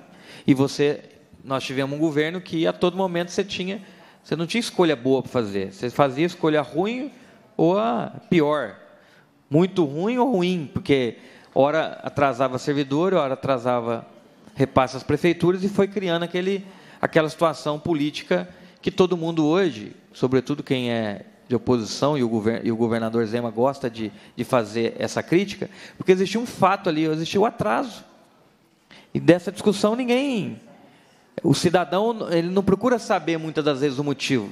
Ele viu aquilo, nós vivenciamos aquele desgaste de atrasar salário, atrasar repasse. Então, sobre esse fato, ninguém nunca quis ouvir os motivos do porquê disso. Só que hoje vem à tona, cai a máscara do governador que entrou cinco anos sobre uma liminar que o governador Pimentel garantiu nos últimos dois meses do seu governo e o governador Zema não paga essa dívida. Agora, quando há o risco, a possibilidade dele voltar a pagar essa dívida, ele vem dizer para nós que a situação é pior. Porque ele aumentou a dívida, a parcela vai ser maior e ele vai ter que voltar a atrasar o salário. Então, que gestão eficiente e governo diferente é esse? Diferente eu acredito que seja mesmo, muito diferente, porque ele foi capaz de ser pior do que aquele que ele criticava. Pior. É isso que, ao buscar um regime de recuperação fiscal, é isso que ele está assinando. Um, ele está passando o recibo de que ele é pior do que aquele que ele critica. Eu não estou dizendo que o Pimentel, nesse caso, é ruim no nível que o Zema. Nós estamos reconhecendo que a situação do Pimentel naquele momento foi de começar um governo em que começou a ajustar as contas e que depois não teve condições por pagar a dívida. Só que o Zema hoje está anunciando, antes de pagar uma parcela, estou falando nem do ano inteiro, uma parcela, ele está dizendo, e aliás é, é, pior ainda, porque ah, se ele não aprovar o regime, parece que dia 30 de dezembro ele tem uma, uma fatura de 500 milhões e a partir daí o pagamento das parcelas mensais da dívida, da dívida na ordem de 1,4 bilhões. Pimentel pagava na ordem de 800 milhões por mês, o governo agora, por não ter pago e ter aumentado a dívida, ela saltou de 800 milhões no mês e vai na ordem de 1 bilhão e 400 milhões. É duro. Só que ao mesmo tempo que é duro ver isso, nós temos que ser realistas. Ele piorou a situação do Estado. A gestão dele realmente foi diferente porque ela foi pior E de eficiência não tem nada, tem incompetência, ineficiência e responsabilidade. Porque ele teve alternativa, ele teve quatro anos alinhado com o governo federal, à época, ex-presidente é, Bolsonaro, alinhado a ele, que ele poderia dialogar, buscar alternativa, encontrar uma solução, mas ele se negou o diálogo em todos os sentidos, até com quem ele tinha proximidade, ou tinha afinidade, porque proximidade parece ele não ter com ninguém. Ele se nega à política, se nega ao diálogo e hoje assina o atestado da sua incompetência, irresponsabilidade, da mentira que contou e o levou, infelizmente, a ser reeleito. Mas as, o tempo é o dono da verdade, porque o tempo está mostrando para nós, com fatos e verdade, de que a narrativa do Estado nos trilhos é uma narrativa mentirosa, construída com dinheiro do contribuinte, porque pagou comunicação, controle da mídia do Estado nesses anos todos, para vender imagem de bonzinho. No domingo vai lá vender a imagem que compra marmita e lava sua, suas louças. Viaja de jatinho a todo momento, que é direito, porque tem que rodar o Estado para todo lado, mas quando não filma, não mostra quando anda de carro ou pega ônibus, avião de carreira, faz graça filmando, né? se, boza, se goza de bonzinho, saiu do Palácio da Liberdade para gastar muito mais na casa que ele está, só para dizer que ele paga aluguel, mas a estrutura do Estado está toda lá, a Polícia Militar teve que alugar a casa do lado, fechar a rua, montar um aparato, ou seja, o Estado gasta duas vezes mais, porque gasta lá e gasta para manter a outra estrutura que tem. E, a, e, ao, e no, no, nesse meio tempo ele foi construindo a imagem que agora não está sendo desconstruída por um simples discurso de oposição de um lado ou de outro, pelo fato concreto de que ele endividou o Estado, quebrou o Estado, não vai conseguir pagar uma parcela e vai voltar a atrasar. E fica ameaçando, porque vai atrasar salário, vai atrasar repasse. Então vamos sentar, se, se o Estado tem só essa alternativa, o que, que é melhor? Atrasar. O Pimentel atrasava, mas pagava dentro do mês o reajuste que tinha dado aos servidores. Não é justo, não é ideal. O ideal é chega o dia certo, todo mundo recebe o seu salário. Ou é viver sob ameaça de atraso e de não ter reajuste durante nove anos, arrancar mais de 55%, porque isso é tirar do bolso do servidor. O que, que é pior? Então o Zema está conseguindo ser pior do que aquele que ele, que ele criticava de gestão, da irresponsabilidade que ele foi capaz de promover no Estado. Então é essa verdade que nos leva a afirmar aqui que é injusto continuarmos com esse debate na casa. O governador tem que receber um recado da Assembleia Legislativa de que ele precisa entrar de verdade nesse processo de negociação. E só há uma forma: ou a retirada do projeto dessa casa ou a derrubada que nós vamos ter no plenário contra esse projeto. Obrigado. Para encaminhar, deputado Luizinho. Senhor presidente, eu volto a dizer aqui que se o governador Zema não, não levar a sua equipe, não peticionar junto ao STF e, se, e plantar, né, ficar plantado, como eu disse, à porta do STF e, e do governo federal, para primeiro tentar é, prorrogar a liminar. Eu, é, é, é coisa. Assim, parece que a gente está antevendo o que vai acontecer. Nós vamos, essa casa vai aprovar, nós votaremos contra, claro, mas é uma grande possibilidade da maioria dos deputados e deputadas aprovarem o regime, porque o Zema coloca a faca no pescoço da sua base, e a democracia é assim mesmo, você tem, você governa com posição e oposição, e a oposição geralmente sustenta o governo, é assim na democracia. Então, está com a faca no pescoço, colocada pelo governador Zema. Agora, se. Eu, eu penso assim, da mesma forma que foi ao governo federal, e logo de início, com a primeira proposta, houve um, um decotou da dívida 40 bilhões de reais. Vou dizer novamente aqui que esses 40 bilhões de reais dariam para recapear todas as rodovias de Minas Gerais com duas camadas de recap. Esse dinheiro que o Zema traria é, de prejuízos a nós, a manter essa proposta do Zema, Minas tem um prejuízo de 40 bilhões de reais. É quase uma Codemig. Vai estar avaliada provavelmente aí em 60 bilhões. Quer dizer, é um prejuízo que o governador Zema está dando ao Estado e ele está se lixando para o Estado. Porque a primeira, a primeira oportunidade, simples protocolo de uma proposta do senador Rodrigo Pacheco e do presidente Tadeu, o governo federal disse: ok, vamos negociar, é possível decotar é, 50% do, do que restar da dívida dando entrada à vista. Então, o governador Zema, ele não quer isso. E se ele não peticionar, não tiver junto ao Supremo para conseguir adiar essa liminar e aprovar esse regime, essa pauta não voltará à mesa do Supremo, nem voltará à mesa do governo federal. Porque olha quantos problemas o Supremo enfrenta, quantos problemas o governo federal enfrenta. E eu vou dizer, viu, Cleiton? Se, se aprovar aqui, o, o, o Supremo falar, ah, já aprovou mesmo, está resolvido. Do jeito dos mineiros lá, está resolvido. Para que, que eu vou mexer num negócio que já virou lei? Você não acha que, eh, eh, se você fosse ministro do Supremo, recebesse um pedido para adiar, falasse, assim, mas já resolveu?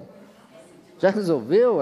Que bom, vocês resolveram lá, a Assembleia aprovou, né? o governador quis, legítimos representantes da população. Então, ok.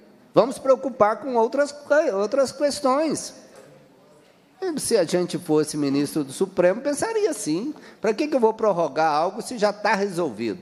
Já está resolvido, já aprovou a lei. O governo não vai voltar a analisar essa proposta, nem, muito menos o STF. Vamos, a gente tá fazendo um exercício, presidente, antever o que vai acontecer. Se nós aprovarmos, vai acontecer isso. É lamentável, mas vai acontecer isso. O Zema vai ficar sem pagar, pagar o mínimo possível de, de, de juros e serviços da dívida, vai privatizar as empresas, e para ele é ótimo. Péssimo para o Estado, péssimo para os servidores, péssimo para os mais pobres do nosso Estado, péssimo para os serviços públicos, mas para ele é bom. Para ele vai ser bom. Então, eu estou aqui, por isso que nós estamos pedindo para retirar, para adiar, fazer o que for possível para a gente não votar essa proposta, não deixar ir ao plenário, porque se for ao plenário, nós estamos dizendo que vai passar. Infelizmente, nós, da oposição, Cleiton, não temos força para barrar né, a situação aqui. Nós somos 20 deputadas e deputados, alguns, o Sargento Rodrigues também vota contra, um ou outro, mas, infelizmente, nós estamos antevendo que, se for ao plenário, nós seremos derrotados. Em Minas será derrotada. Os servidores serão derrotados, o Estado será derrotado, os mais pobres desse Estado serão derrotados, as escolas serão derrotadas, os hospitais, a saúde serão derrotados. Infelizmente, por isso que nós estamos insistindo tanto na retirada do projeto, retirada é, da votação, e né, utilizando o nosso tempo aqui para esclarecer, aprofundar, fazer um debate, não de senso comum. Senso comum é aquele senso estereotipado, né, que é, o Zema se aproveita muito, não é, o, não é o, senso crítico nem investigado, é o senso superficial, aquele que diz que é, o Zema pôs, pôs o Estado nos trilhos. Isso é o senso comum, que não é crítico nem investigado. Quando se aprofunda, não resiste a um minuto de questionamentos ou de investigação científica ou crítica. É, quando ele diz que pôs o, o, Estado nos trilhos. Né? É só se for nos, tri, nos trilhos do, do abismo. O trem que está levando é nos trilhos para cair no abismo, porque é isso que vai acontecer, porque ele alivia para ele durante os próximos três anos e joga todo o compromisso de pagar as contas para o próximo governador. É isso que ele está fazendo, está tirando do colo dele e está jogando no colo do próximo governador com um prejuízo, só de ver essa proposta do, do Rodrigo, um prejuízo de 40 bilhões de reais, que nós temos o direito de, quando negocia. Não, não houve nenhum tipo de negociação. Oh, minha comandante maior, subcomandante, que é comandante maior é o povo.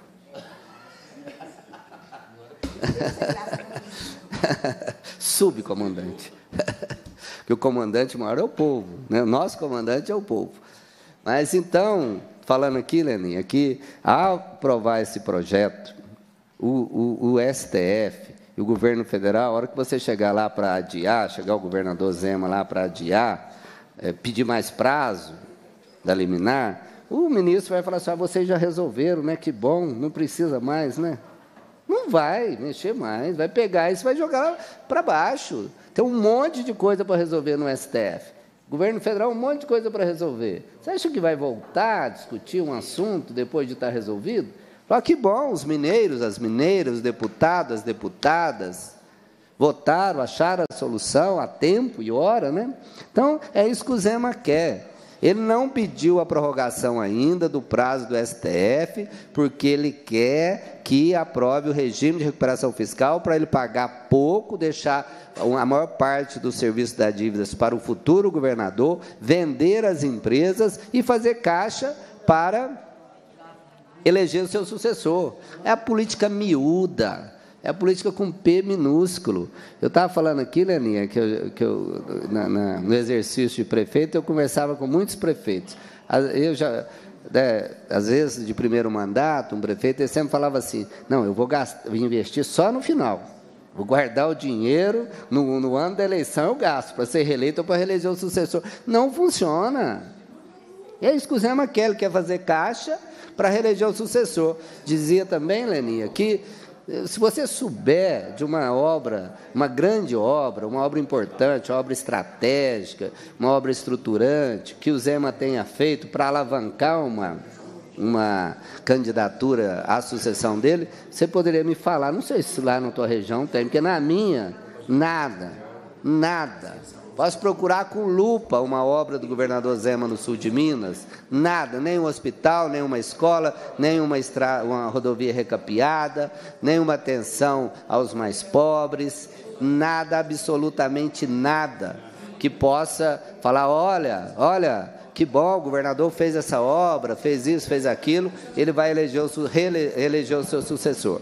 E na política você faz política é, é, é, é claro que você tem que fazer política para você continuar o seu projeto político. Isso é da política, você não vai abandonar o seu projeto político. Então, na política você tem um projeto político, você quer continuá-lo.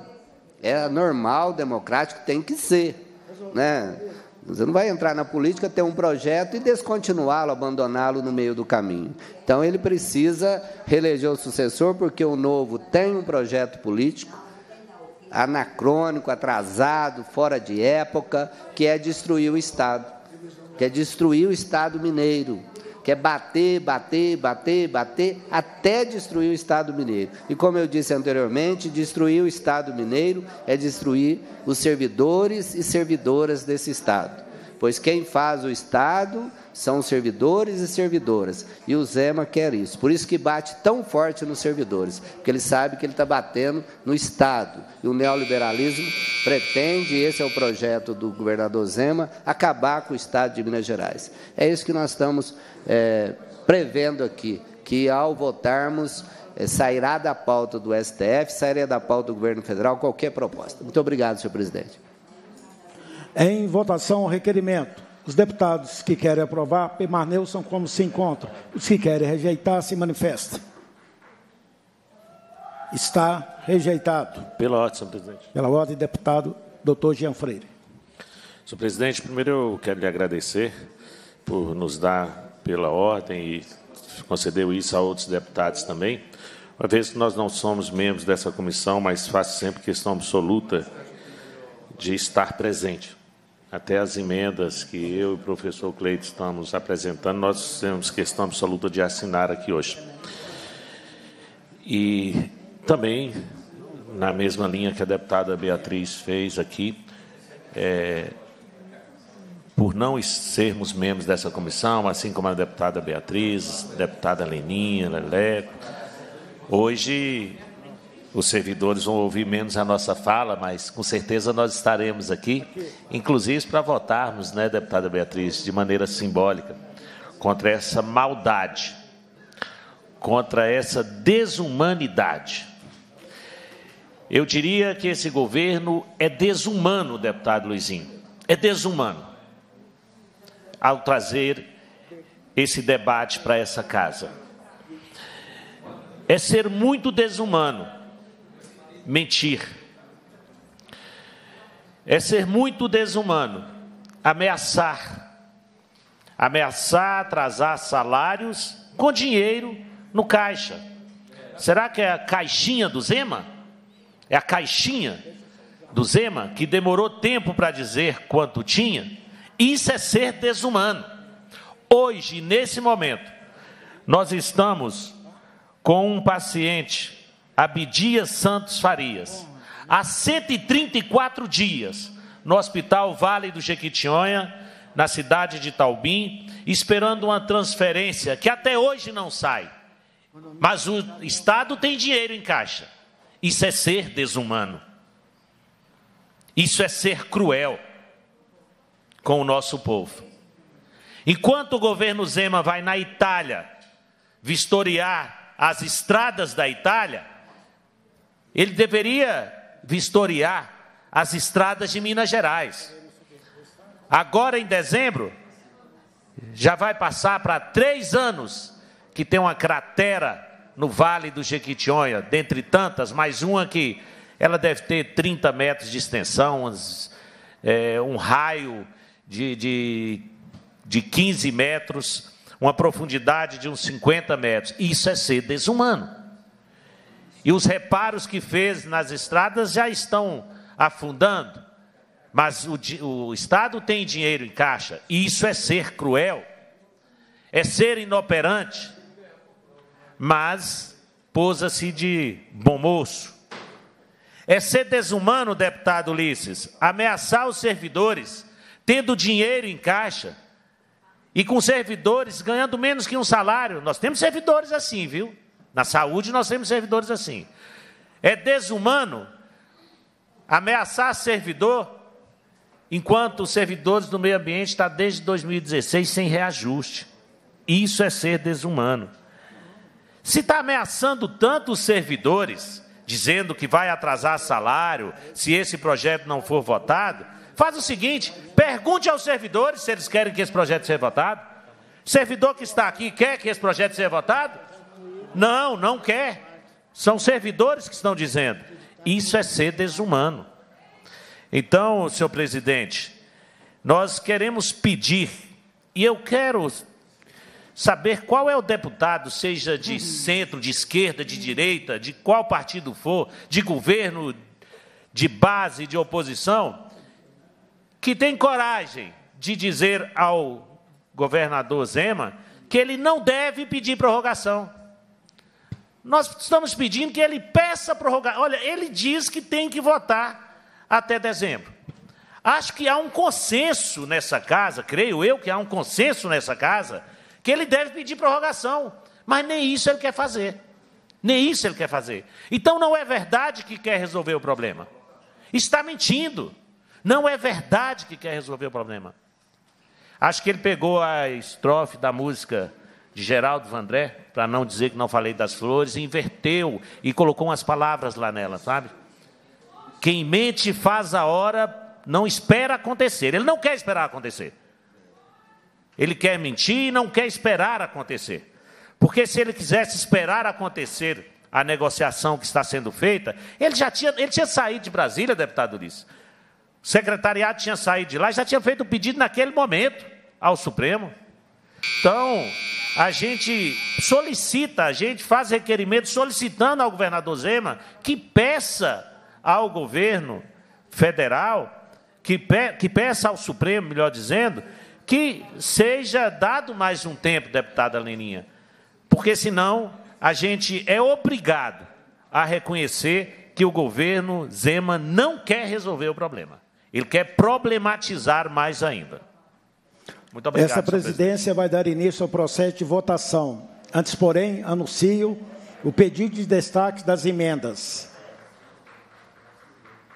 1179, 1900 1194, 1196, 1636, 1635, 1600, 1596, 1569, 1588, 1587, 1159, 1156, 1177, 1171, 1172, 1170, 1168, 1165, 1163, 1152, 1151, 1193, 1142, 1135, 1133, 1129, 1111, 1097, 1089, 1085, 1078, 1075, 1067, 998, 991, 986, 983, 962,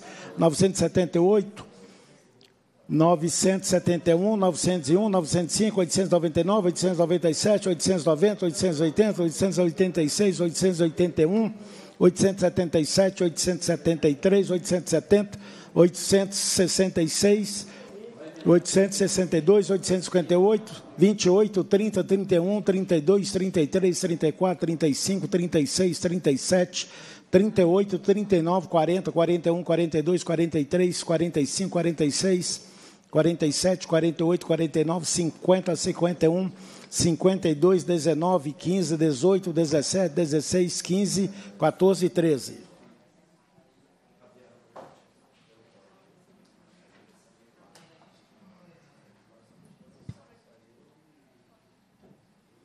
Votação do parecer, salvo emendas de destaque. Em votação, o parecer, salvo as propostas de emendas e destaques. As deputadas e os deputados que aprovam o parecer, salvo as propostas de emendas e destaques, permaneçam como se encontram. Os deputados que querem rejeitarem,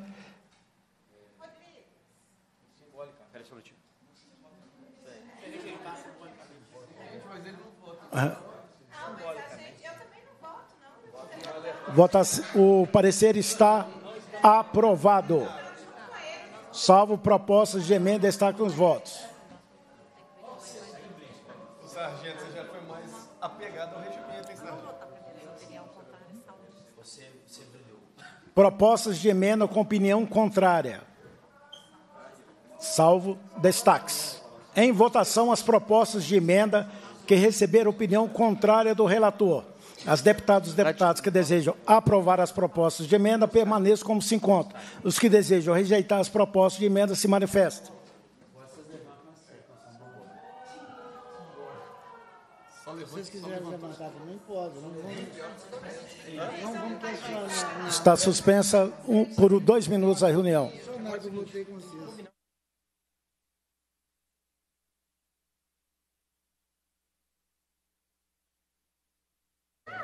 Luizinho. Você vai querer encaminhar? O destaque você vai encaminhar? Não, eu vou. Você vai? Vou. Tá bom. Faz uma praxe. Quem pediu? Arruma aí. Vamos tocar. Vai lá, eu. Para encaminhar, deputado Ulisses Gomes. Presidente, votado do jeito que está o projeto, a alternativa que temos, e que é uma ótima alternativa, deputada Leninha, é a aprovação das nossas emendas. São 1.500 emendas, dos, dos quais nós conseguimos destacar 90 delas. A aprovação dessas emendas corrige as maldades que o Zema faz no projeto. Ou seja, eu queria encaminhar aqui, porque depois de tudo isso, nós temos a oportunidade de, ao aprovar essas emendas, corrigir essas maldades, garantindo que os servidores não serão penalizados, que o regime de recuperação fiscal apresentado pelo governador Zema não será implementado nas maldades que ele apresenta no texto. Então, a, as 90 emendas, apesar de não ser a totalidade das que a gente apresentou, Quero parabenizar o deputado Cleito, junto com o deputado Jean e todos que comporam ao longo do tempo o debate dessa comissão. As emendas representam para nós uma última alternativa de correção do texto para que ele não seja, na prática, aquilo que o Zema pretende implementar de maldade aos servidores, aos serviços públicos, aos investimentos, às metas de gastos nos municípios. Então, o conjunto das emendas, não vou aqui me detalhar em cada uma delas, mas elas, no conjunto das 90 emendas destacadas, garantem a correção do texto, a, amenizar, a possibilidade de amenizar essas penalidades que o governador Zema apresenta no projeto de lei. Então, presidente, eu queria encaminhar favoravelmente a, a essas emendas, pedindo a compreensão dos deputados para que a gente as aprove e, dessa forma, possamos seguir na discussão, garantindo que o projeto de lei será corrigido. Então, como Vossa Excelência está concordando, o deputado João Magalhães também, que a gente possa aprovar essas emendas, deputado. É o encaminhamento. Para encaminhar, deputado Luizinho. Senhor presidente, é a última tentativa que nós temos aqui, viu, Leninha, da gente é, impedir. Né, um, não é um erro, porque se fosse um erro do governador Zema, alertado, ele corrigiria. É algo pensado, calculado do que ele quer. Esse, eu tenho dito aqui, Leninha, que esse pessoal dos, do Novo, eles estão parados lá na década de 80 ainda, quando começaram as privatizações. Eles são anacrônicos, fora do tempo. Tem um que foi estudar, eu acho, lá na, nos Estados Unidos, deve ter aprendido lá sobre o neoliberalismo e achou que é, poderia vir para cá e aplicar essa, esse método de governar, que é de privatizar. Só que deveria se atualizar. Pois, Leninha, lá na França e na Europa, por exemplo, é na França e na, é na Alemanha, mais de 800 empresas foram reestatizadas. As empresas de energia e saneamento foram reestatizadas. Nos Estados Unidos também. O governador Zema quer impor um regime que privatiza a água que a gente vai beber, a energia que a gente vai utilizar. Isso é essencial à vida. Essencial à vida. Então nós não podemos entregar isso. Além de sacrificar os servidores, punir os servidores, é uma punição é uma tortura aos servidores públicos de Minas Gerais. Além disso, quer ainda entregar a água que a gente toma para os fundos de investimento, que só querem lucrar, lucrar, lucrar e lucrar. Você acha que vão preocupar com investimentos futuros? A minha cidade, por exemplo, tem captação de água no rio, chamado São Tomé, que nós já tivemos problemas com. É, algas cianofícias que são tóxicas. Você tem que fazer investimentos altíssimos para impedir, por exemplo, que haja contaminação das águas. Aí quem quer vender a Copasa, quer vender a Semig, aí vai, vai é, quer, quer sucatear a Semig para justificar a sua venda. Então deveria se é, sabe, chega às raias do ridículo, Leninha, ir lá na Itália para ver qualidade de asfalto.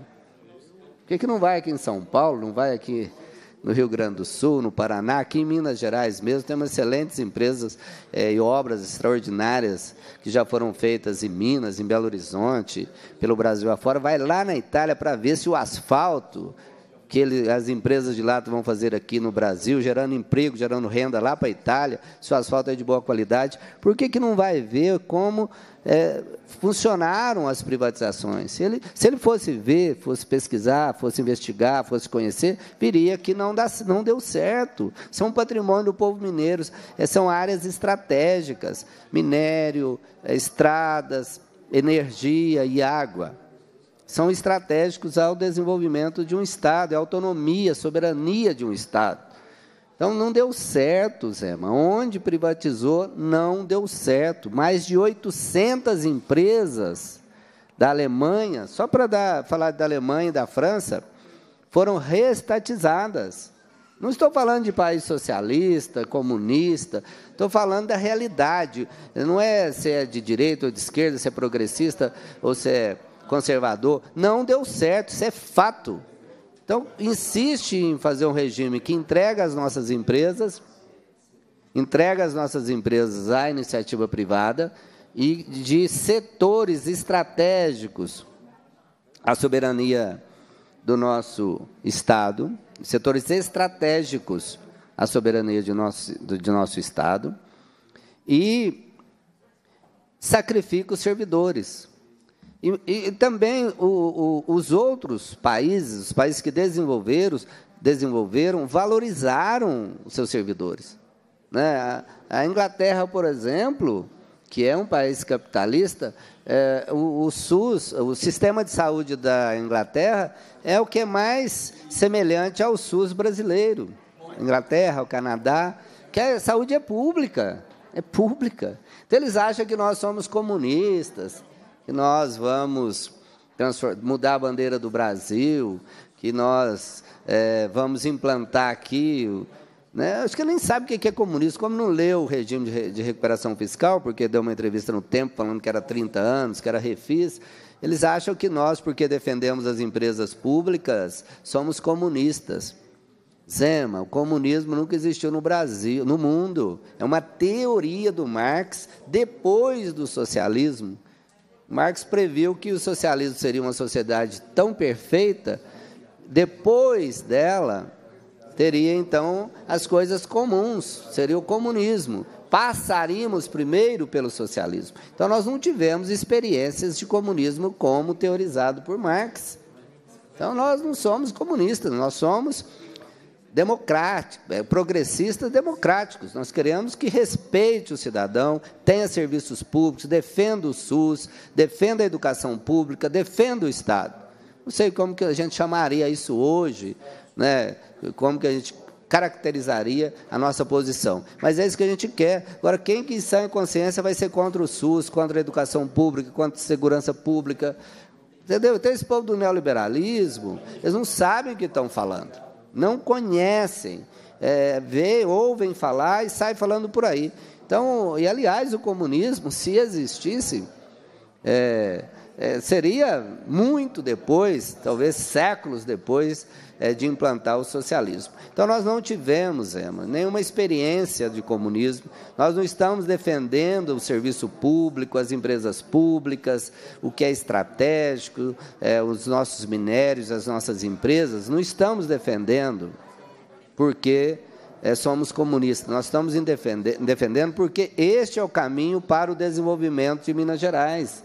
Esse é o caminho para o desenvolvimento do nosso Estado. Portanto, senhor presidente, queria agradecer, dizer que daqui a pouco vamos votar contra essa maldade que o governador Zema quer impor ao nosso querido Estado de Minas Gerais. Obrigado, deputado Luizinho. Com a palavra, a deputada Leninha. Obrigada, presidente. Eu pedi pela ordem, mas já Sim. tinha feito uma combinação anterior. Sim.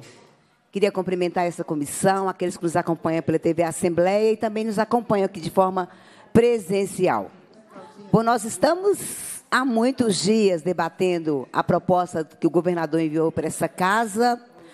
Nós estamos há muitos dias ocupando o debate, não só essa casa, mas os movimentos de representação sindical, a organização da sociedade civil, porque o que está fazendo mobilizar é o perigo de uma adesão de um regime que não penaliza os servidores públicos. Penaliza sim, mas penaliza a população mais pobre.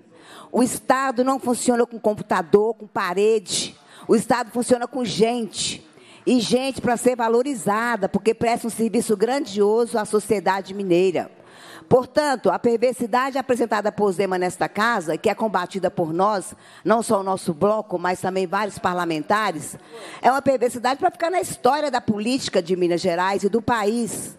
Não é possível que nós tenhamos outros estados que já aderiram ao regime e estão querendo retroceder para renegociar os termos da adesão, e a gente tem no momento um governador que tem outras opções que já foi dada, indicada, inclusive com o governo federal, insistir nessa novela de fazer um regime que penalize os servidores, e principalmente o serviço público. A nossa missão aqui é defender o serviço público, os servidores, Ainda mais nós, deputados, que somos de base, com a população mais pobre, que depende do pessoal da saúde, da tributação, da educação, enfim, da justiça, enfim, nós estamos falando de servidores que prestam serviço a, esse, a este Estado e que a gente está aqui para fazer essa defesa e dizer que nós continuaremos permaneceremos contra o regime. As emendas apresentadas que procuram proteger o serviço público e os servidores é uma possibilidade, é uma esperança para que os deputados desta casa que vem insistentemente mantendo essa posição de aderir ao regime, possam repensar. Não é injusto a gente destruir carreira, não é injusto a gente destruir o serviço público para a população mais pobre? É legislar para muitos anos pela frente, é comprometer o nosso futuro, é comprometer cada vez mais a presença do Estado no meio da população mais pobre. Alguém disse, nós temos servidores aqui que ganham menos de um salário mínimo da educação, o pessoal ligado né, aos serviços gerais, na saúde. Nós temos que cuidar do povo, é melhorar as condições de trabalho, é ter uma carreira decente para qualquer cidadão e de modo muito especial para quem faz esse serviço tão importante para o Estado de Minas Gerais. Apresentar as emendas foi no sentido da gente proteger. Não é possível, primeiro, que um governador que viaja para a Ásia que fica quase 20 dias, inclusive em países comunistas socialistas como a China. Liberal viajando para países comunistas e socialistas.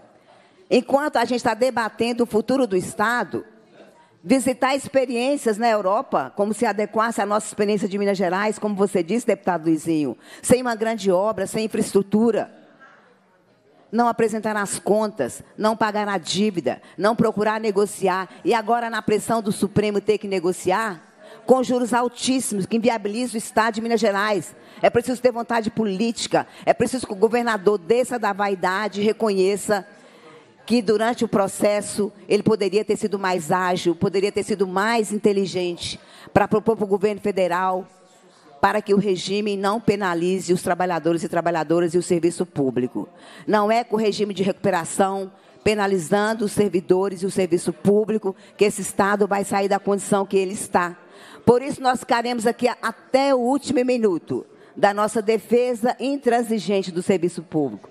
Por isso, nós estaremos aqui até o último minuto, com todas as forças, não só do parlamento, mas das entidades que, que representam os servidores, a sociedade, de modo geral, que está preocupada, inclusive. Nós estamos falando também de outros projetos perversos que tem na casa, como a proposta de emenda à Constituição que privatiza o serviço público, a energia e a água, que não está na pauta agora, mas se a gente abre a porteira e deixa passar esse projeto do regime, com certeza nós vamos sofrer lá na frente com um projeto de emenda à Constituição que o governo também trouxe para essa casa. Então, nosso apelo, o nosso apelo para que os parlamentares desta casa possam, de fato, refletir sobre o que significa e impacta na vida das pessoas, não só dos servidores, como eu disse, mas para a população de modo geral. E eu creio que a população está muito mobilizada para o que está acontecendo aqui, os riscos e as ameaças se esse projeto passa aqui nesta casa. Por isso, presidente, a gente eu gostaria de agradecer mais uma vez eu, enquanto vice-presidenta da casa, não posso fazer coro, não posso votar em comissão, mas eu posso vir aqui ajudar no debate, que é por essa luta que eu acredito que nós estejamos aqui. A luta pelo serviço público e pelos servidores públicos do Estado de Minas Gerais. Obrigada, presidente. Obrigado, deputada Leninha. Com a palavra, deputado Leleco. Presi... falar também?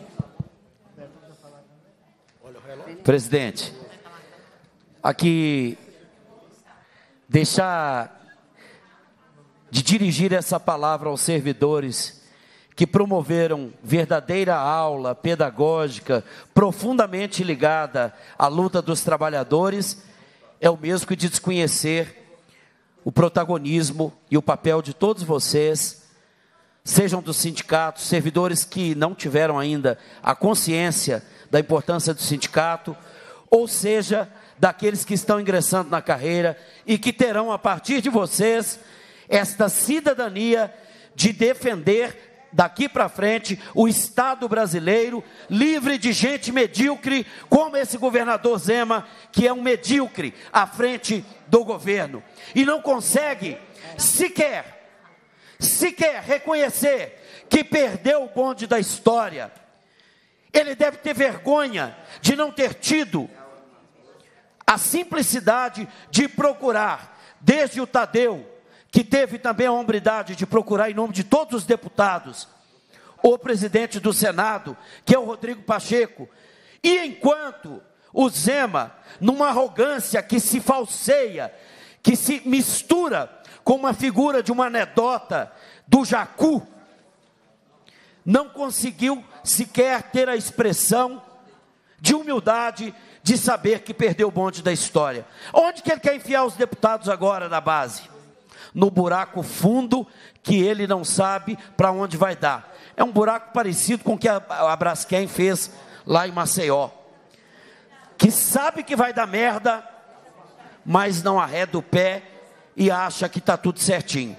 É uma pena, é uma pena que o vice-governador, que quer ser chamado de professor, está se demonstrando uma pessoa de joelhos para a burrice alheia e pela, vamos dizer assim, pela condição até de nós mineiros, olharmos para frente com o mínimo de olhar filosófico ou até mesmo de profetas que somos, de saber que isso vai dar em lugar nenhum. Então hoje aqui, eu não estou de costas para esta tribuna onde os deputados estão, eu estou de frente para quem teve o verdadeiro protagonismo de segurar essa luta na Assembleia. E olha, infelizmente o processo que está aqui acontecendo, ele está terminando, porque o Zema ainda não conseguiu acordar do berço esplêndido que voltou da China para compreender que ele está colocando os deputados numa situação difícil. Vamos aqui, por hipótese, colocar que nós vamos ao plenário nesta quinta-feira votar. Eu tenho certeza que muitos vão ficar e continuar escondidos na pilastra, não vão colocar o pé naquele tapete vermelho, porque eles vão entender aquilo que vocês já disseram. Se votar, quem falou foi você. Se votar, você além de perfeito é sem defeito. Eu acho que alguns entenderam bem esse recado pedagógico. Mas vamos por hipótese pensar que eles vão dar continuidade a esta tentativa de tentar obstruir aquilo que o Tadeu e que o senador presidente Rodrigo Pacheco foi levar lá para o Lula. O Lula, que não está preocupado com Zema, eu quero mandar esse recado para o Zema. O Lula está preocupado com o Brasil, com o mundo. O Lula não está preocupado com o governador de baixa estatura moral, que não compreendeu que Lula venceu na eleição. E ele também. Só que ele não dá valor à votação porque ele sabe que mentiu para tê-la. E agora, o Zema, que mentia, e que agora também os sindicatos fizeram questão de trazer, que tinha quase 24 bilhões parado. Ele acha que o Estado é banco, que o Estado tem que ter uma relação de lucro, quando na verdade ele deveria ter ido a uma aula ali na UFMG para ele entender que política pública e Estado é a devolução daquilo que os trabalhadores ajuntaram para reverter em política pública para o povo. Sem servidor não tem política pública. Mas Zema parece carecer de uma formação daquelas bem básicas. Então eu acho que fica aqui uma provocação para os servidores. Vamos fazer um convite para o Zema para uma aula de cidadania do que, que significa o Estado e o que é política pública, vamos fazer um aulão para quem sabe ele, até escondido no banheiro, com o celular, possa aprender que quem faz cidadania de fato na luta é o servidor, a servidora pública. Zema, seja humilde pelo menos uma vez, não deixe os deputados da base passarem vergonha, porque não há emenda parlamentar que vai comprar a consciência do povo. O povo não se vende. E quem votar? Então vamos ver se eles têm coragem de votar. Presidente Zé Guilherme, todos os deputados, aqui me mantive de costas, não para vocês, mas em respeito aos servidores que aqui estiveram todos esses dias. Não tenha dúvida que o povo já estudou tudo que nós estamos aqui tratando e já resumiu o buraco que o Zema quer enfiar os 57 deputados que estão na base. E eu acredito que alguns já acordaram. Eu ouso dizer que nós já ultrapassamos 35 deputados que têm coragem de votar não ao regime de recuperação fiscal e que dentre eles estão vocês. Obrigado, deputado Obrigado. Leleco. Em votação, a proposta de emenda destacada em bloco que recebeu opinião contrária do relator. As propostas. As deputadas e os deputados que desejam aprovar as propostas de emenda permaneçam como se encontra. E os que desejam rejeitar as propostas de emenda se manifestem. Estão rejeitadas. Cumprida a finalidade da reunião, a presidência agradece a presença dos parlamentares, convoca os membros para a próxima reunião, determina a lavratura da ata e encerra os trabalhos.